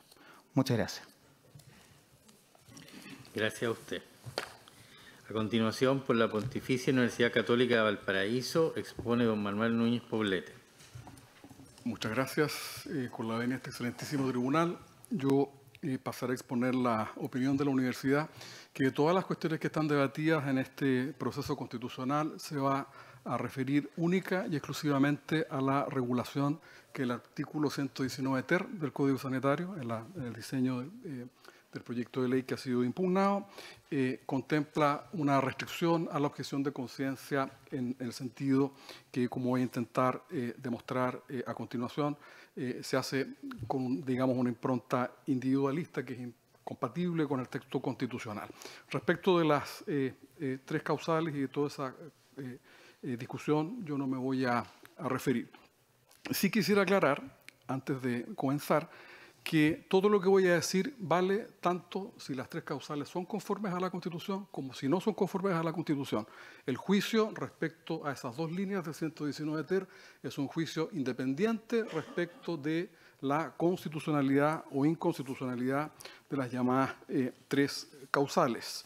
El proyecto de ley impugnado contiene una frase al final del artículo 119 ter, que dice que la objeción de conciencia es de carácter personal y en ningún caso podrá ser invocada por una institución. Eh, si uno examina el eh, texto del eh, mensaje, la objeción de conciencia se diseña única y exclusivamente pensando en el personal médico como un derecho, y leo el mensaje, como un acto estricta y esencialmente individual del profesional clínico. Luego, en segundo trámite, la eh, señora a la sazón ministra de Justicia, indica que eh, esta objeción de conciencia es una excepción al mandato de cumplir la ley que tienen todas las personas, norma que será aplicable únicamente al médico cirujano. En lo que importa, eh, eh, referido a la fundamentación de esta regulación, es, como lo indicó en el informe de la Comisión de Salud, la ministra de Justicia, que no corresponde que el establecimiento donde se empeña el facultativo invoque una objeción de conciencia institucional. Adicionalmente, en la contestación de su excelencia la presidenta de la República se añade una tercera razón, cuál sería que en efecto son los individuos los que tienen conciencia y no las eh, instituciones. A través de la norma, entonces el legislador aplica estrictamente la Carta Fundamental, pues de consagrarse una objeción de conciencia institucional podría lesionarse gravemente la libertad de conciencia. Si uno examina entonces esta regulación del 119 TER, uno puede proponer las siguientes eh, cuatro conclusiones. Primero, la norma legal propuesta atribuye como consecuencia a la objeción de conciencia la posibilidad de restarse la obligación legal de ejecutar un tratamiento médico destinado a provocar un aborto en los casos establecidos por la ley. Segundo, el 119 TER excluye a las personas jurídicas que llama instituciones de la facultad señalada precedentemente. Tercero, esta exclusión se explica por la supuesta inexistencia de una conciencia que no sea la persona algo individual y por la libertad de trabajo del personal eh, médico. Cuarto y final, no distingue entre ningún tipo de persona jurídica, sean ellas estatales, de derecho privado, de derecho público, religiosas, docentes, con ideario eh, ético o religioso o moral o sin él. Todas estas instituciones, sin distinción, reciben el mismo tratamiento legislativo como eh, se intentará demostrar a continuación, eh, esta regulación afecta por lo menos los siguientes eh, derechos reconocidos por nuestra Constitución. En primer lugar, la autonomía que la Constitución reconoce a los cuerpos intermedios y la libertad de asociación. En segundo lugar, la igualdad ante la ley y en un sentido más amplio, el derecho a la no discriminación. Y por último, el tercero, eh, en tercer lugar, el derecho a las instituciones educacionales con ideario y de las personas jurídicas de carácter religioso para llevar adelante su ministerio a través de actividades sanitarias o humanitarias, que es una consecuencia de la libertad religiosa y en ciertos casos también de la libertad de enseñanza, como lo voy a intentar eh, demostrar acá. Primero, eh, la exclusión de, de, las personas jurídicas vulnera la autonomía de los cuerpos intermedios. Como ha sido una jurisprudencia reiterada de este tribunal, autonomía de los cuerpos intermedios implica no solo la facultad para organizarse, sino también la facultad para poder, y cito textual, regirse por, su, por sí mismos, decidir sus propios actos, la forma de administrarse y, aquí viene lo relevante, fijar cuáles son los objetivos y los fines que deseen alcanzar. Si uno examina la norma que complementa el artículo 19, número 15 de la Constitución, que es el 16 del Pacto de San José de Costa Rica, allí se encuentra que la libertad de asociación no tiene, no opera en el vacío, sino que opera, como dice el Pacto de San José, con fines ideológicos, subrayo ideológico, religiosos, políticos, económicos, laborales. ¿Mm? No parece entonces compatible con este modo de entender, que es el modo constitucional, el modo de los tratados internacionales ratificados por Chile y que se encuentran vigentes a, eh, los cuerpos intermedios o las asociaciones, entender, como lo dice la contestación, que las eh, instituciones serían simplemente ficciones. ficciones. Segundo, la norma vulnera el principio de no discriminación y de igualdad ante la ley. En efecto, al excluir la objeción de conciencia a todo tipo de eh, instituciones, la norma eh, otorga la misma regulación, en primer lugar, a instituciones eh, o a personas jurídicas que no tienen ideario porque no pueden tenerlo. Nadie discute que una persona jurídica de derecho público, como es un servicio de salud, no puede tener un ideario religioso. Y efectivamente, en ese caso, la regla que excluye la objeción de conciencia es completamente compatible con la imposibilidad que tiene el Estado de ser titular de derechos fundamentales. Pero coloca enseguida en la misma situación y aplica la misma consecuencia jurídica, por lo tanto la misma exclusión, a aquellas personas que no tienen un ideario porque no quieren tenerlo y a aquellas personas jurídicas como son las personas jurídicas eh, eh, las instituciones educacionales que tienen un ideario eh, ético o, religioso, e incluso las confesiones religiosas que por su propia naturaleza no solo tienen un ideario accidental, sino que la posesión del ideario es lo que les otorga precisamente su identidad y su existencia con independencia de la mera agregación de los intereses individuales de sus integrantes. Por eso entonces, cuando la regla otorga el mismo trato a personas jurídicas o instituciones que se encuentran en situaciones distintas es que se vulnera eh, eh, desde el punto de vista procedimental la regla más eh, elemental de la igualdad ante la ley. Y segundo, y cuando hablo de no discriminación, hablo de no discriminación en un sentido ya más contemporáneo de la palabra, la norma es discriminatoria en cuanto renuncia al deber estatal de acomodar a las minorías la norma, como si no existiese el artículo 27 del Pacto Internacional de Derechos Civiles y Políticos, eh, niega el, eh, el, derecho de las organizaciones, de las personas de carácter religioso a poder, como dice la Declaración sobre la Eliminación de todas las formas de intolerancia y discriminación del año 1981, fundar y mantener instituciones de beneficencia o humanitarias. Eh, en cuarto lugar, la norma vulnera el derecho de las eh, instituciones religiosas y personas jurídicas a organizarse, como se ha dicho, en torno a un fin, que es un derecho que reconoce el Pacto de San José, en un sentido eh, colectivo. La palabra religión, la palabra religión, eh, por definición, es, una, es, un concepto de naturaleza colectiva. Y acá está la clave del proyecto, acá está una de las, claves de, la, discusión eh, que se plantea en este proceso, y es que si bien el Estado no puede imponer una, como universales concepciones eh, que sean propias de la religión, no puede impedir, sin violar la libertad de conciencia y de religión, no puede impedir que las organizaciones o que las personas de manera colectiva tengan una eh, noción compartida acerca de lo que es sagrado.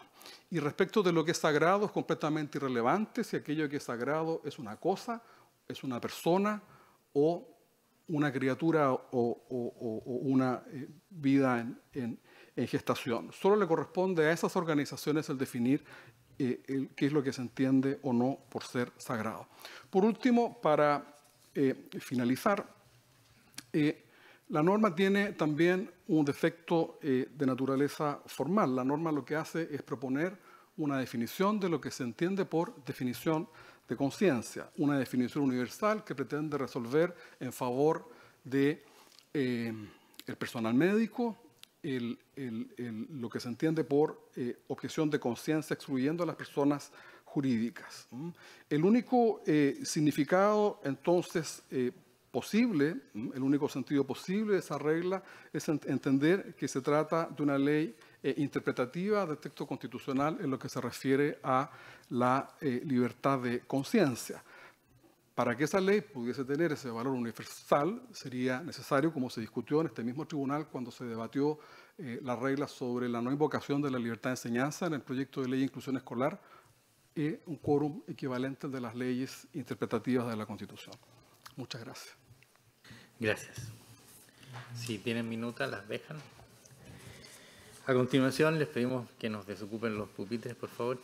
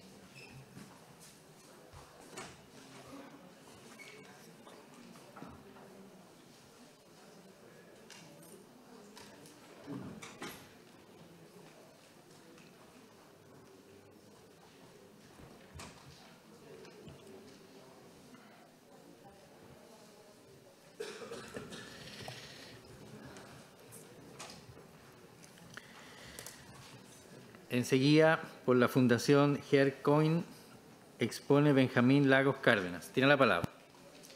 Gracias, señor presidente, señores ministros.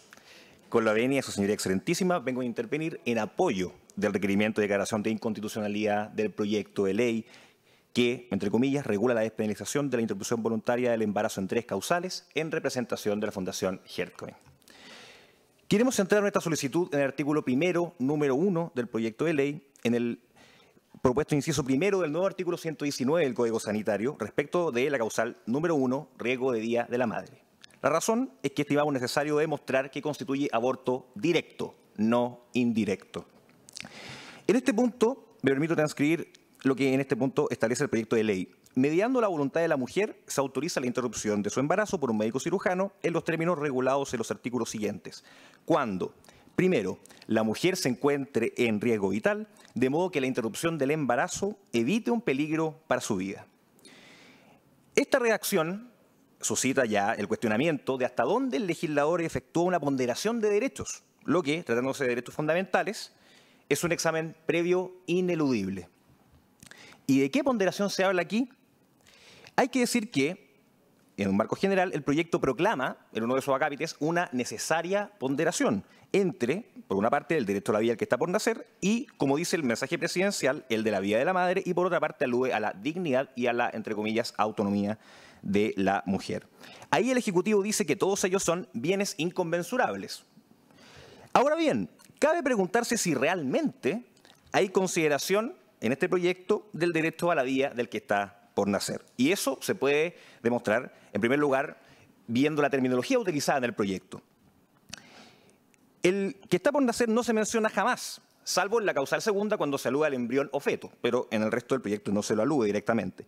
Y el mismo título, como diversas disposiciones del proyecto, aluden a la, entre comillas, interrupción del embarazo, expresión que no se hace cargo de la consecuencia natural de este acto, que es la muerte del que está por nacer. Se menciona solamente a mujer, no a la madre, salvo una sola vez en todo el texto. Precisamente, ¿por qué? Para eludir el vínculo con su hijo, el vínculo de filiación. Y ese hijo aludiría a una persona. Y además, justamente la palabra hijo tampoco en ninguna parte del texto aparece mencionada. De modo que, si no se reconoce que hay dos titulares de derechos fundamentales, ni siquiera se puede hablar de que exista ponderación alguna. Ahora examinemos en detalle la causal número uno. En este caso, los derechos que, según el proyecto, habrían de ponderarse serían la vida de la madre y la del hijo. Debemos tener presente que esta magistratura, en fallos anteriores, ha sostenido que la ponderación para la afectación de un derecho fundamental requiere de, en primer lugar, especificidad o determinación y, en segundo lugar, de justicia o racionalidad. En primer lugar, en esta causal especificidad no se cumple. ¿Por qué? Porque en primer lugar habla apenas de riesgo vital, entre comillas. No se determina la entidad del riesgo, el tipo del riesgo, ni el plazo del riesgo. Hay que decir, por supuesto, que esta causal, como está contemplada en el proyecto, no tiene plazo. Y en segundo lugar, como aquí no solo hay una conducta que se despenaliza, sino que se tornan exigibles diversas prestaciones con una longitud y un detalle tal que se debe concluir que se trata, en definitiva, de un derecho al aborto y no de una excepción, como se dice plantear. De lo que resulta que para el legislador existiría un solo titular de derecho, que sería la mujer. No hay ponderación. En cuanto a la justicia o racionalidad de esta ponderación, cuando el proyecto dice, entre comillas, se podrá interrumpir el embarazo, de modo que la interrupción del embarazo evite un peligro para su vida. Aquí lo que el legislador hace es asumir como indubitada una relación causal entre una enfermedad y un tratamiento que es para el legislador el aborto directo y por tanto está asumiendo el legislador que la más idónea solución para la mujer es el aborto directo o al menos que es una opción viable digna de ser tomada en cuenta y regulada por el legislador. Este tipo de intervención no es necesario, ya que la norma vigente en Chile permite salvar la vida de la madre sin necesidad de causar directamente la muerte de su hijo por nacer. Así ha sido la práctica médica y de ahí nuestra tasa de mortalidad materna, que, según organismos internacionales, es la segunda más baja de América. La causal número uno, que modifica la norma vigente e ignora estos datos de la realidad, no puede ser entonces la misma norma, pero entre comillas mejor regulada o más detallada. ¿Por qué? Porque es radicalmente distinta de la norma vigente, en una doble dimensión. En primer lugar, en lo normativo. ¿Por qué? Por la intención de la intervención que se permite, el aborto directo, que aquí se ampara al despenalizar una conducta. Y en lo interpretativo, por su imprecisión, que permitiría hacer pasar abortos directos como indirectos lo cual la hace susceptible de grandes abusos en su aplicación, como ocurría con el antiguo artículo 119 del Código Sanitario. Ahora bien, ¿por qué esta necesidad de ponderar? Porque la Constitución es un sistema de garantía de derechos fundamentales. Y ello tiene su correlato en diversos principios sentados por este tribunal. El principio pro homine, que es reconocido por este excelentísimo tribunal, se reconoce en los artículos 29b de la Convención Americana de Derechos Humanos, y también en el artículo quinto del Pacto Internacional de Derechos Civiles y Políticos y en el Pacto Internacional de Derechos Económicos, Sociales y Culturales, todos tratados internacionales que se encuentran, que ratificados por Chile, que se encuentran vigentes y que por tanto son parte de la Constitución en virtud de su artículo quinto, inciso segundo. Según este principio pro homine, de entre dos normas en conflicto, sin importar su jerarquía, debe primar la que más favorezca el ejercicio de un derecho fundamental.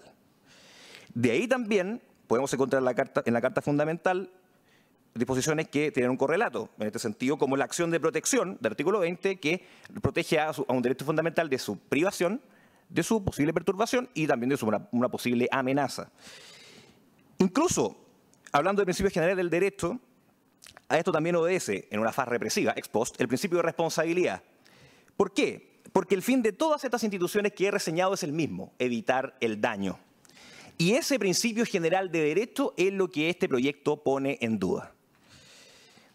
Entre esos derechos fundamentales está el derecho a la vida del que está por nacer, que ya por, tratarse por el constituyente de como el que se reconoce que es persona. No olvidemos que, por ejemplo, eh, el, sujeto activo de la acción de protección también se dice el que, por tanto se está refiriendo a una persona. No es, no es un derecho de segunda clase, como alguna interpretación eh, literal eh, de cierta doctrina eh, cree que, así debe contemplarse, que así debe interpretarse. ¿Por qué? Al contrario, porque se inspira en el principio general sostenido por esta magistratura de la reserva legal de la regulación de los derechos fundamentales. Y a su vez constituye un mandato de protección adicional a una persona inocente e indefensa. Esto también se relaciona con la eficacia horizontal de la Constitución y en particular de los derechos fundamentales sostenida por este excelentísimo tribunal. El Estado y las personas están obligados a respetarlos en todo tiempo y circunstancia. Y ello emana de la supremacía constitucional, contemplada en el artículo sexto, inciso segundo de nuestra Carta Fundamental, y se ratifica el día de hoy, cuando tanto partidarios como detractores de este proyecto de ley acuden a esta magistratura para que declare la constitucionalidad de su pretensión, con lo que ambos sectores hacen suyas tanto esta constitución como el tribunal que debe resguardarla. Sin embargo, por supuesto, solo una de estas posturas puede ser declarada constitucionalidad, que, como he expuesto, es la de la inconstitucionalidad de este proyecto de ley. Por último, debo referirme a nuestra evolución constitucional. Nuestra Carta Fundamental es la primera en la historia de Chile que asegura, es decir, garantiza los derechos a la persona, algo inédito en nuestra historia constitucional, porque en las cartas de 1833 y 1925 el titular del derecho era el habitante, ni siquiera la persona. Ahora es la persona. Y no solo la persona, sino todas las personas. El exordio del artículo 19 es enfático. ¿Y por qué lo hace el constituyente? Para asegurarse de que no exista ninguna discriminación arbitraria. El derecho a la vida también es asegurado por primera vez en nuestra historia por nuestra Carta Fundamental. ¿Esto es azaroso? ¿Es casual? No. Es un reconocimiento de que no basta con la protección de la ley penal, sino que es un principio que debe inspirar a todo el ordenamiento jurídico.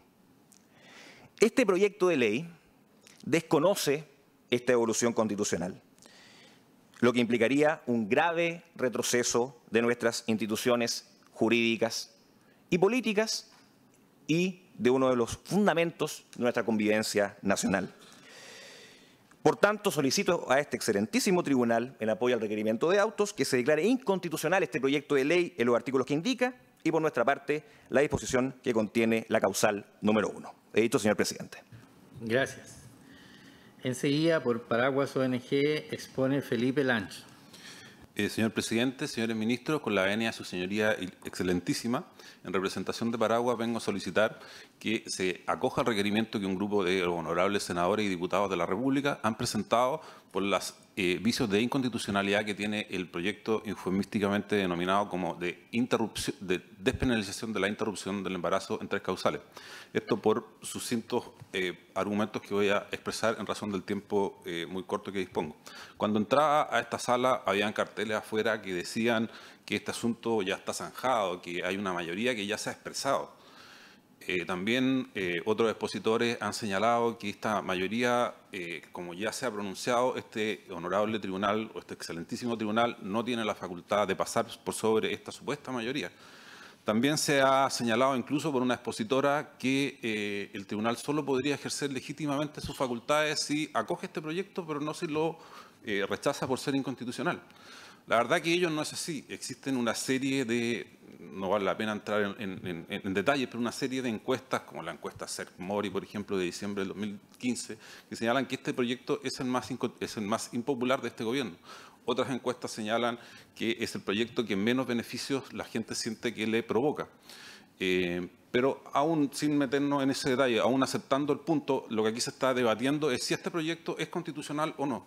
Y por lo tanto, de la premisa que se ha señalado, no se sigue la conclusión que se pretende dar por acreditada y por lo tanto el argumento que se ha señalado es erróneo porque de la premisa no se sigue la conclusión y lo único que este tribunal debe resolver es si este proyecto es constitucional o no en la forma como ha estado establecido. Volveremos sobre este punto más adelante.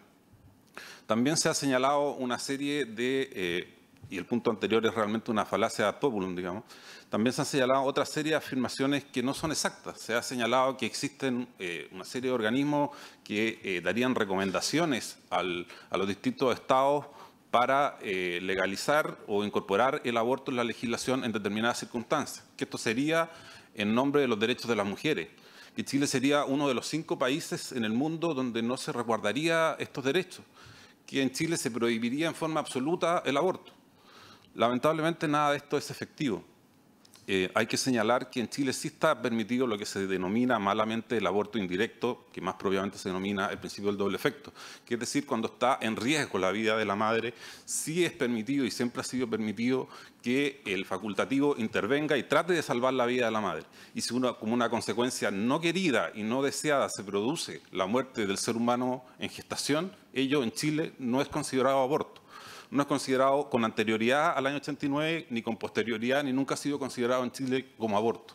No existe ningún facultativo en Chile que haya sido nunca en toda la historia de la República enjuiciado por estas circunstancias y todos los médicos lo han entendido de esa misma forma. Eh, por lo tanto, Chile no es uno de los cinco países que regula de esta forma el aborto indirecto, sino son más de 66 países, entre ellos no solamente latinoamericanos, sino europeos. No, no, alcanza el tiempo para eh, nombrarlo. Eh, tampoco es efectivo, o sea, se señala que esto sería en resguardo de los derechos de las mujeres, pero su señoría eh, excelentísima nos señala que el hijo que está por nacer puede ser también mujer. Puede ser hombre, pero puede ser también mujer. Y por lo tanto, ¿qué derecho se va a resguardar? ¿El de la madre o el de la hija? Porque ambos tienen derechos, la madre y la hija. ¿Qué derechos vamos a resguardar? Hay dos derechos. ¿Cuál vamos a, a privilegiar? Porque las dos son mujeres y las dos tienen derechos. Por lo tanto, si vamos a proteger eh, los derechos de la mujer, hagámoslo desde que está por nacer y no desde un momento arbitrario de su existencia. Se indica que existirían estas recomendaciones, pero estas recomendaciones no son vinculantes. El soft law no es vinculante y eh, la representante de Planet Parenthood aquí en Chile ha señalado que no existe un tratado donde se establezca el derecho a abortar. También se ha sido señalado aquí en estas audiencias. Ello es efectivo, no existe. Además, hay que señalar que estas recomendaciones, eh, aun si alguna de ellas se hubieran incorporado al derecho interno, eh, son una norma infraconstitucional, como ha señalado ya muchas veces este tribunal, por lo tanto, no aplican en este caso.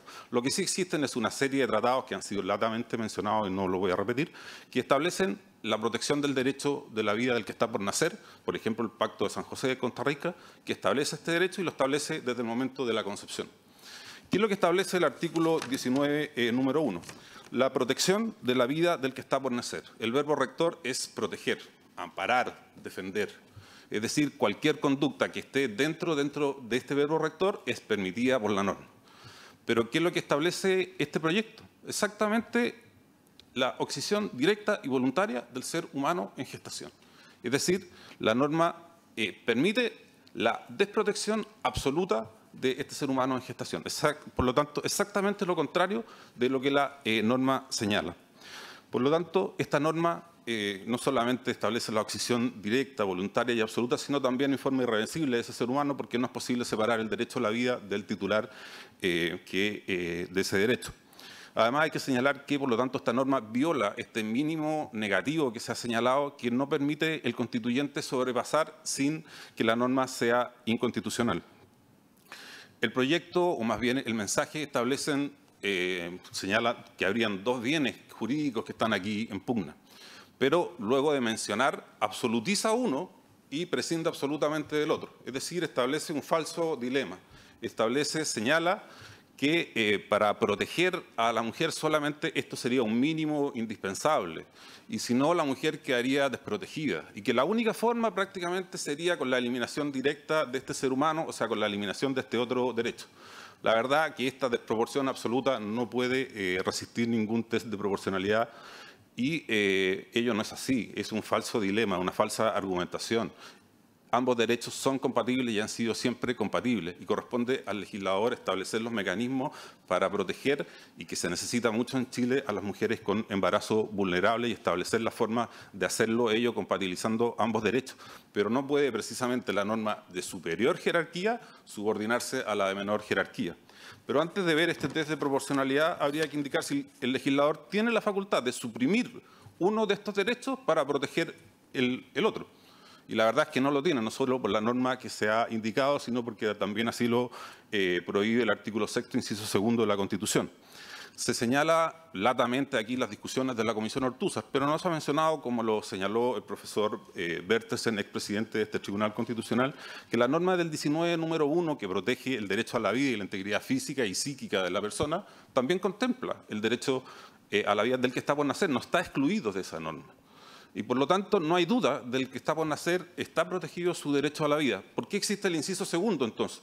Porque por la especial desprotección, por la especial debilidad de este ser humano, eh, el constituyente ha creído necesario eh, ordenarle al legislador que le dé una protección especial. Ese es el sentido y no el contrario. Y por lo tanto, durante 27 años se ha interpretado y se han dictado normas protegiendo el derecho a la vida del que está por nacer desde la concepción. Pero este proyecto eh, pretende dar la interpretación absolutamente contraria, incluso creando un paradigma absolutamente contrario. Y eh, pretende sobrepasar lo que le está vedado, que es precisamente eh, no desproteger en forma absoluta y directa la vida del que está por nacer, superando este y sobrepasando este mínimo legislativo que la Constitución no permite. Y por lo tanto hay que señalar que no solamente se permite esta obsesión directa del que está por nacer, sino que se establece como una prestación médica exigible, obligatoria, con una serie de prestaciones adicionales, el derecho a acompañamiento y otros derechos auxiliares. Es decir, lo que estaba prohibido pasa a estar permitido. Y la conducta eh, contraria hoy día pasa a ser la norma exigida, salvo en los casos de la objeción de conciencia que está muy limitada en este proyecto. Por lo tanto, eh, hay que señalar que esta no es la forma, no se ha adoptado esta norma con los quórum que corresponde y no es la forma de eh, hacer tabla rasa con una garantía constitucional indispensable por lo demás para poder ejercer cualquier otra y por causales muy graves, efectivamente, pero en forma irreversible se suprime esta garantía. Por lo tanto, ha, habido otra serie de argumentaciones que se han planteado aquí de por qué esta norma sería constitucional, eh, que no han logrado demostrarlo, pero no alcanzo a señalarlo. ¿Y por qué ello es así? Porque la tortura, la muerte, el descuartizamiento y la desaparición de un ser humano no está protegido y no está amparado por el ordenamiento constitucional chileno.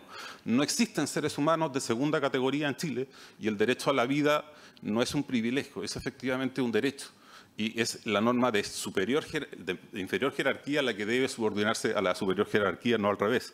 Se dice muy rápidamente que aquí Em, se habría legalizado el aborto terapéutico en Chile, que después se suprimió y que ahora se quiere solamente eh, volver a, establecer. Ello no es así, hay una contradicción evidente en los términos. Es decir, nunca la muerte cruenta de un ser humano puede ser una terapia médica. Obviamente no es una terapia médica para el hijo o hija que va a ser asesinado, y mucho menos para la madre que la muerte de su hijo va a ser una tragedia.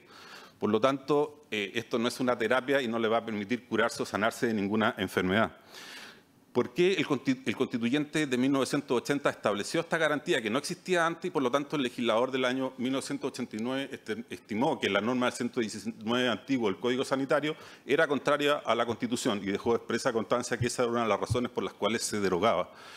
Y hay que señalar que estos visos de constitucionalidad no los tiene una sola causal, las tiene todas las causales y no es posible eh, separarlas, por tanto. Y por lo tanto, para eh, ir terminando, hay que señalar que no es la forma de resolver esta materia siendo tabla rasa de los derechos y garantías constitucionales de un grupo de seres humanos, por muy eh, loables que sean los fines del legislador y por muy graves que sean las circunstancias, porque esto permitiría que la norma del 19 número 1 pasaría a ser letra muerta y a futuro se podrían establecer otro grupo de chilenos a las que se los privaría también arbitrariamente de sus derechos. Para concluir, su señoría excelentísima, hay que indicar que precisamente la función de este tribunal es resguardar el Estado de Derecho a través de, hacer eh, respetar la supremacía constitucional, dentro de ello los derechos y los deberes constitucionales, precisamente y en mayor medida de los más débiles. Por lo tanto, hay que señalar, como su señoría excelentísima sabe mucho mejor que yo, que no existen en Chile personas que estén por sobre la ley y eh, mucho menos de la Constitución, y ello también es válido para el Congreso, que tampoco está por sobre la ley.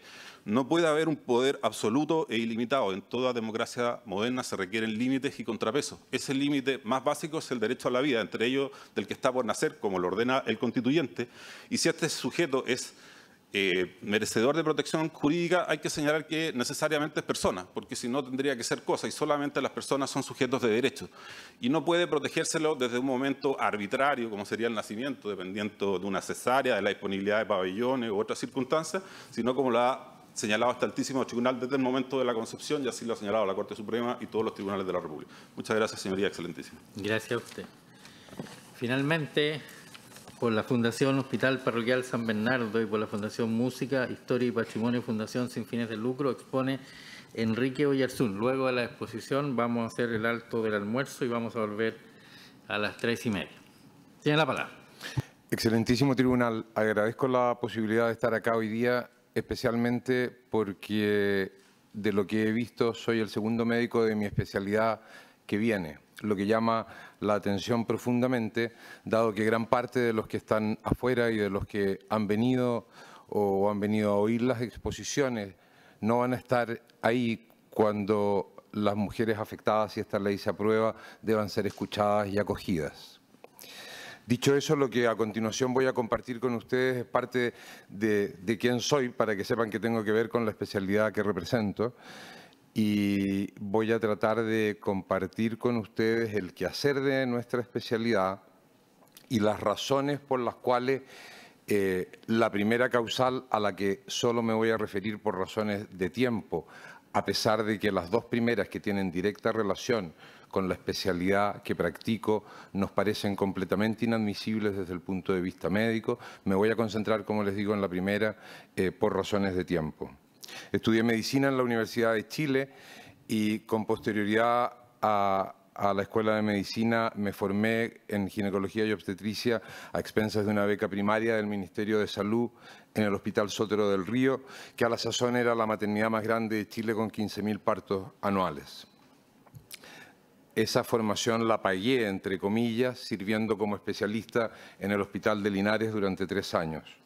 Posteriormente estuve en Estados Unidos, en la Universidad de Yale, formándome en lo que hoy se conoce como medicina materno-fetal. Y al regresar a Chile desarrollé mi carrera académica en la Universidad Católica, de donde soy profesor titular y cuyo departamento de obstetricia y ginecología dirigí durante tres periodos, 12 años. Actualmente me desempeño clínicamente en la clínica de la Universidad de los Andes y soy profesor de esa universidad. En el camino que he recorrido he sido presidente de la Sociedad Chilena de Obstetricia y Ginecología. Hace algunos años mis pares me honraron con el título de maestro chileno de la obstetricia y ginecología y he formado parte del Comité de Salud Materno-Infantil del Ministerio y he contribuido a las normas nacionales que guían el quehacer de nuestra especialidad. Una de las razones, además de las que les he mencionado por las que quería estar acá, es porque en mucho soy responsable directo del desarrollo de la medicina materno-fetal como especialidad en Chile. Y de hecho dirijo actualmente el comité de esa especialidad en CONASEM, la Corporación Nacional de Certificación de Especialidades Médicas, que es un organismo sin fines de lucro que reúne el quehacer de varias instituciones académicas y que es la que dice al, al final del día qué médicos que se presentan como posibles titulares de esa especialidad lo son o no lo son. La especialidad de medicina materno-fetal, entonces, es la que se preocupa para que ustedes lo tengan en mente de embarazos de alto riesgo. Toda embarazada tiene riesgos, así que basta que una mujer se embarace, en principio, para que su riesgo de muerte al año siguiente sea diferente al de una mujer que no se embaraza. Pero dicho eso, existen embarazos, alrededor del 10% de ellos, o 15% según algunos, que reúnen factores de riesgo que contribuyen a aumentar las posibilidades de daño. Eh, esos riesgos derivan de que el embarazo presente patologías propias de la gestación o patologías coexistentes con la gestación que a veces pueden estar eh, desde antes del embarazo. Y por otra parte, derivan también de patologías fetales, que nuestra especialidad trata de prevenir, de diagnosticar cuando es posible y de tratar inútero cuando ello es posible. El manejo de los embarazos de alto riesgo supone necesariamente la interrupción de los embarazos en algún minuto. Y eso incluye la posibilidad de interrumpir el embarazo antes de la viabilidad fetal. Eso se ha hecho siempre. Y es el quehacer normal de la lex artis. El proyecto actual, sin embargo, en relación a esta primera causal, no define ni delimita situaciones particulares, a las que yo me voy a referir en breve. Supone o da a entender un concepto sumamente abierto e indeterminado. Como en otras cosas del proyecto, mezcla argumentaciones de todo tipo, establece diferencias legales entre los conceptos constitucionales de protección de la vida versus el derecho a la vida. Favorece la confusión general al sostener que el proyecto permite no solo hacer lo que normalmente se hace, sino también terminar con los embarazos en que el feto es la causa de riesgo, como si hubiese embarazo en que el feto no tuviese nada que ver con el embarazo. Además, no se señalan límites para la edad gestacional para esta primera causal ni se hacen responsables de la posibilidad de que el feto nazca vivo, a menos que se vaya a establecer que se pueda matar al feto inútero antes de ser abortado. Si uno mira la redacción del proyecto, yo tuve la posibilidad de leer parte del documento que el Gobierno entregó, donde dice, por ejemplo, un argumento común contra esta causal, la primera, es que las situaciones, comillas, que pretende cubrir no serían aborto o que es innecesaria porque aborda casos que ya estarían cubiertos por la praxis médica. Tal argumento debe desecharse. Esto, cierre comillas, yo no tengo claro si esto es un ejemplo de intolerancia total, o, si simplemente quieren enseñarle a los médicos lo que deben hacer. Por otro lado, dice sostener que la praxis médica basta para cubrir casos dramáticos en que está en peligro la vida de la madre, demuestra un desconocimiento del tipo de casos a que nos enfrentamos, porque en ciertos casos su vida peligra precisamente por causa del embarazo. Y para confundir más a los que lo lean, dice que esta causal protege a la madre de características genéticas del padre o de la madre. Esto es un juego de palabras que verdaderamente, si ustedes le preguntan a médicos que trabajen en en medicina materno-fetal resulta completamente incomprensible. A continuación, lo que voy a tratar de enumerarles es las causas concretas que justifican la interrupción del embarazo antes de la viabilidad fetal definida como 22 semanas de gestación o 500 gramos de peso. Esas causas son bien conocidas y aceptadas y están en todos los libros de texto. Embarazo ectópico, que es el embarazo localizado fuera del útero. Infección ovular o hemorragia antes de las 22 semanas de gestación. Hipertensión arterial materna severa. Cánceres que coexisten con el embarazo en el primer trimestre y que exigen, cuando la madre así lo acepta, ser tratadas y como consecuencia del tratamiento el feto se va a perder o a morir. La mola parcial, que es una patología tumoral del tejido placentario que puede coexistir con un feto portador de una anomalía cromosómica letal. Y además hay enfermedades maternas propiamente tal que pueden estar presentes desde antes de la gestación y que tienen que ver con la falla de órganos vitales, insuficiencia cardíaca, insuficiencia hepática, insuficiencia renal. Los grupos en los que hemos trabajado, todos han publicado suficientes estadísticas de estas patologías, de todas ellas, en la literatura nacional y extranjera. Solo les voy a mencionar dos ejemplos muy concretos. En la Universidad Católica, hace pocos años atrás, una paciente embarazada por primera vez de 19 semanas de embarazo, cuatro meses y una semana, requirió un trasplante hepático. La paciente fue trasplantada, a pesar de lo grave de la situación, por una hepatitis grave fulminante, requirió dos reoperaciones, porque son cuadros graves, requirió múltiples transfusiones de productos sanguíneos, pero la paciente terminó viva y razonablemente sana y teniendo su parto a las 32 semanas con un feto vivo y sano. Cardiopatías congénitas en relación a lo que mucha gente ha tratado de lucubrar todo tipo de teorías. La mayor experiencia probablemente hoy disponible es la del Hospital del Tórax, hospital público de este país. Hoy en día eh, existe, dado los progresos de la medicina, mujeres que han sobrevivido a cardiopatías congénitas, que se han operado en su etapa infantil y que han llegado a una edad fértil en que se pueden embarazar. El Hospital del Tórax presentó hace poco 166 embarazos en mujeres portadoras de cardiopatía congénita. Hay una muerte materna en todo ese grupo de madres. De tal manera que en todas estas situaciones, cuando uno le preguntan los protocolos de manejo clínico vigentes en nuestro país, contemplan claramente la posibilidad de interrupción del embarazo como una alternativa para salvar la vida de la madre y en todos estos casos la pérdida del embrión o feto es un efecto secundario indirecto no buscado. El propio presidente de la Corte Suprema el año 2015 señaló que la legislación vigente no tenía ningún problema ético ni médico ni jurídico para el quehacer médico habitual. Dado que esta primera causal se refiere a lo que hacemos siempre los especialistas, como les acabo de entender, es fácil entender también que este proyecto no surge de los médicos, porque así no ha sido. Surge claramente desde, la perspectiva eh, político-ideológica de los derechos de la mujer, por la cual se pretende transformar la eliminación del feto generalmente sano en una legítima prestación de salud. De hecho, si ustedes se fijan, entre más de 100 expositores en estos dos días apretados de exposiciones frente al Tribunal Constitucional, no, no solo no hay muchos médicos, no hay ningún médico, porque yo miré la lista, salvo que haya aparecido alguien ahora, de medicina materno-fetal, que vaya a presentarse a hablar a favor de este proyecto. Ninguno. Y en el país hay alrededor de 54 especialistas concentrados especialmente en el área metropolitana. La primera causal, si se aprueba, sin lugar a dudas abre las puertas del aborto libre. ¿Por qué lo hace? Primero porque, como ya les he tratado de, ejemplificar, eh, el proyecto está mal escrito, confuso y sin límites, sin definiciones de edad gestacional ni de patologías que vayan a justificar la interrupción del embarazo antes de la viabilidad. Pero en segundo lugar, tienen que considerar ustedes que la historia del mundo demuestra claramente que las leyes restrictivas son seguidas después de un tiempo por leyes liberales.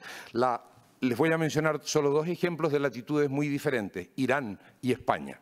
Cuando las las primeras leyes a favor del aborto restrictivas permitieron el aborto en ciertas condiciones. Durante los primeros 10 años, más o menos, los abortos aumentan, alcanzando un número total que equivale a alrededor del 20% de las gestaciones. Cuando en esos países las leyes se hacen liberales, lo que cambia no es el número de abortos que se estabiliza después de alrededor de 10 años, sino que cambian las causas esgrimidas. En España e Irán los ejemplos son muy claros. Casi el 96% de las causas esgrimidas con las leyes restrictivas era la causa materna liberada por este proyecto de la forma como está planteado. Cuando las leyes se hacen restrictivas, más del 90% de las causas pasan a ser a solicitud materna libre y, desaparecen entonces las otras eh, que se habían esgrimido antes. Respecto de mortalidad materna y de mortalidad por aborto, y a pesar de que puedo repetirme de cosas que que hayan leído o escuchado ustedes, les quiero compartir. Las últimas cifras oficiales de Chile son del 2014, dadas a conocer por el Instituto Nacional de Estadísticas el año 2016, el año pasado. Ese año hubo 56 muertes maternas en Chile por embarazo y parto. Hay que decir que desde el año 2010 Chile, dado que sus resultados maternos y perinatales están entre los mejores del mundo, entre similares a los de países que tienen Producto Interno Bruto cuatro a cinco veces superior, que gastan en salud un porcentaje mucho mayor de lo que gasta Chile, Chile desde el año 2010 considera en el indicador de mortalidad materna no solo las muertes que ocurren los primeros 42 días del posparto, sino todas las muertes que ocurren hasta el año de ocurrido el parto, lo que hacen escasos países en el mundo, los más desarrollados, porque en San José de Costa Rica, el año 2015, se pidió que los países latinoamericanos no dieran cuenta de las muertes más tardías dentro de este año. Pero naturalmente Chile lo ha hecho. Deben saber ustedes eh, que Chile está reconocido por las Naciones Unidas entre los países con registros médicos más confiables en el mundo. El año 2014, entonces, hubo 56 muertes maternas en Chile. De esas, 22 ocurrieron después del primer mes del posparto. De tal manera que el año 2014 Chile puede decir que alcanzó la mortalidad materna más baja en su historia, cifra muy similar a la de los países que tienen algo menor que Chile. Y ese año, del total de muertes, la primera causa de mortalidad fue enfermedades concurrentes con el embarazo, como los ejemplos que le mostré antes de cardiopatías. La segunda causa fue hipertensión arterial materna y, aborto aparece con tres muertes. De tal manera que si uno se pregunta si la ley de aborto o si la, haber permitido el aborto en alguna de esas mujeres pudo haber eh, prevenido alguna de las muertes, ese ejercicio los especialistas eh, de, nuestro grupo y de distintos grupos lo han hecho en más de una oportunidad y hay también literatura al respecto. Las muertes maternas ocurren en su mayoría después de la segunda mitad o en la segunda mitad del embarazo del embarazo y muchas en relación al parto y al posparto. De tal manera que hacer un aborto en el primer trimestre del embarazo no va a mejorar ninguna de las cifras que hoy les señalo. Respecto de aborto en particular, Chile ha tenido en los últimos 15 años prácticamente, mortalidad por aborto que oscila o ha oscilado entre 0,3 por 100.000 nacidos vivos y alrededor de 1 por 100.000 nacidos vivos. Comparable o mejor que la cifra de Estados Unidos de mortalidad por aborto, que es el país con aborto legalizado, que puede mostrar las mejores cifras al respecto. Y las cifras de mortalidad por aborto en Chile continuaron bajando, como yo creo que les han mostrado antes, después del año 1989. De tal manera que si a uno le preguntan, ¿Puede esta ley reducir las muertes maternas? De ninguna manera. O sea, de ninguna manera. ¿Cómo podemos reducir las muertes maternas en este país en el futuro? A través de una consulta pregestacional que permite evaluar riesgos y orientar a las pacientes, a través de la disminución de los embarazos a edades tardías de las mujeres, a través de la disminución del sobrepeso y de la obesidad, a través de la disminución de los embarazos múltiples, a través de la disminución de las intervenciones necesarias. Esas son las cosas que van a influir o debieran influir más. ¿Qué va a pasar si esta ley o similares se aprueban, va a haber solo problemas. Eso se los puedo garantizar y cualquiera de la especialidad nuestra a la que le pregunten les debiera decir lo mismo. Uno, se van a practicar más abortos esgrimiendo causales inexistentes. Dos, lo segundo es que las leyes, las muertes maternas pueden aumentar. La experiencia de Estados Unidos, que es la más eh, completa al respecto, señala que si ustedes hacen un aborto antes de las cuatro semanas de atraso menstrual, el riesgo de morir de la mujer por el procedimiento es 0,7 por 100.000 procedimientos. Tienen que pensar que a las cuatro semanas de atraso menstrual casi ninguna mujer consulta en el mundo por embarazo, especialmente las que tienen embarazo no deseado. Después de las cuatro semanas de atraso menstrual, el riesgo de muerte por el procedimiento em, empieza a aumentar de tal manera que después de las 18 semanas, cuatro meses de embarazo, el riesgo de muerte es más de 100 veces superior, 76 y medio por 100.000 procedimientos. Así que lo esperable con una ley de este tipo es que efectivamente las muertes maternas aumenten. Lo tercero es que el procedimiento tiene, sin lugar a dudas, riesgos que hoy día están fuera de discusión los grupos nórdicos han publicado largas estadísticas respecto a que la mortalidad general y la mortalidad por suicidio en particular es más de dos veces superior en las mujeres que se hacen un aborto comparado con aquellas mujeres que siguen con su embarazo adelante. De hecho, el Colegio Real de Psiquiatras en Gran Bretaña exigió hace poco tiempo atrás la necesidad de que las mujeres que buscan hacerse un aborto libre sean, reciban toda la explicación respecto a los riesgos de este tipo que van a correr.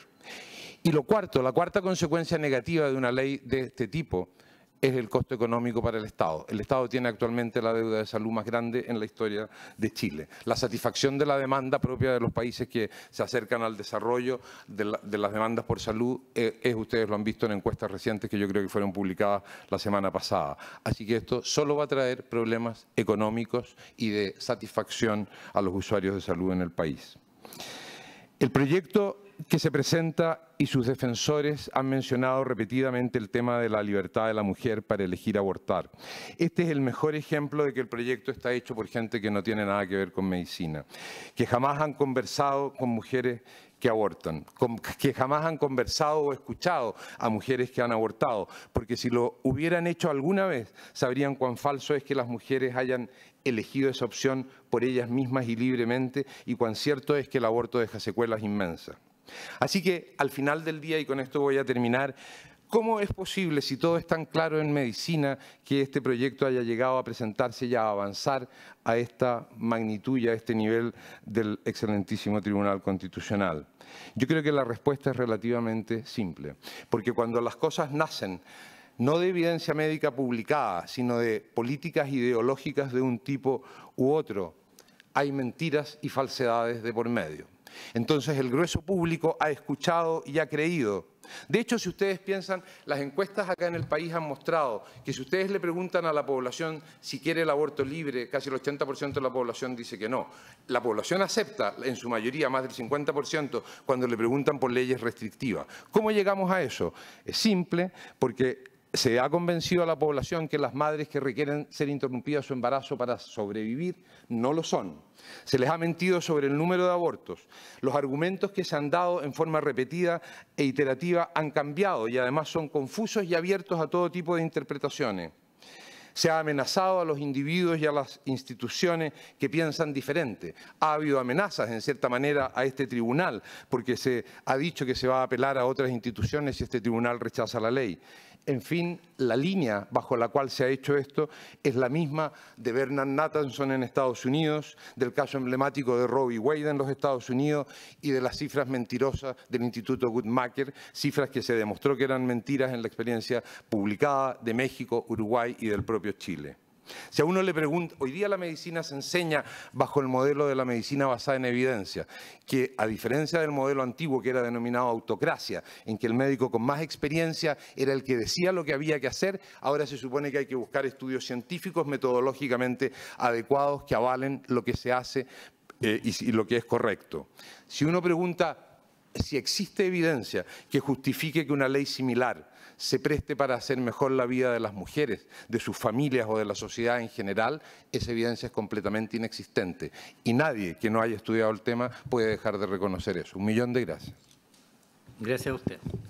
Entonces, culminada la jornada de la mañana, vamos a hacer un alto hasta las tres y media, donde renovaremos la jornada. Gracias.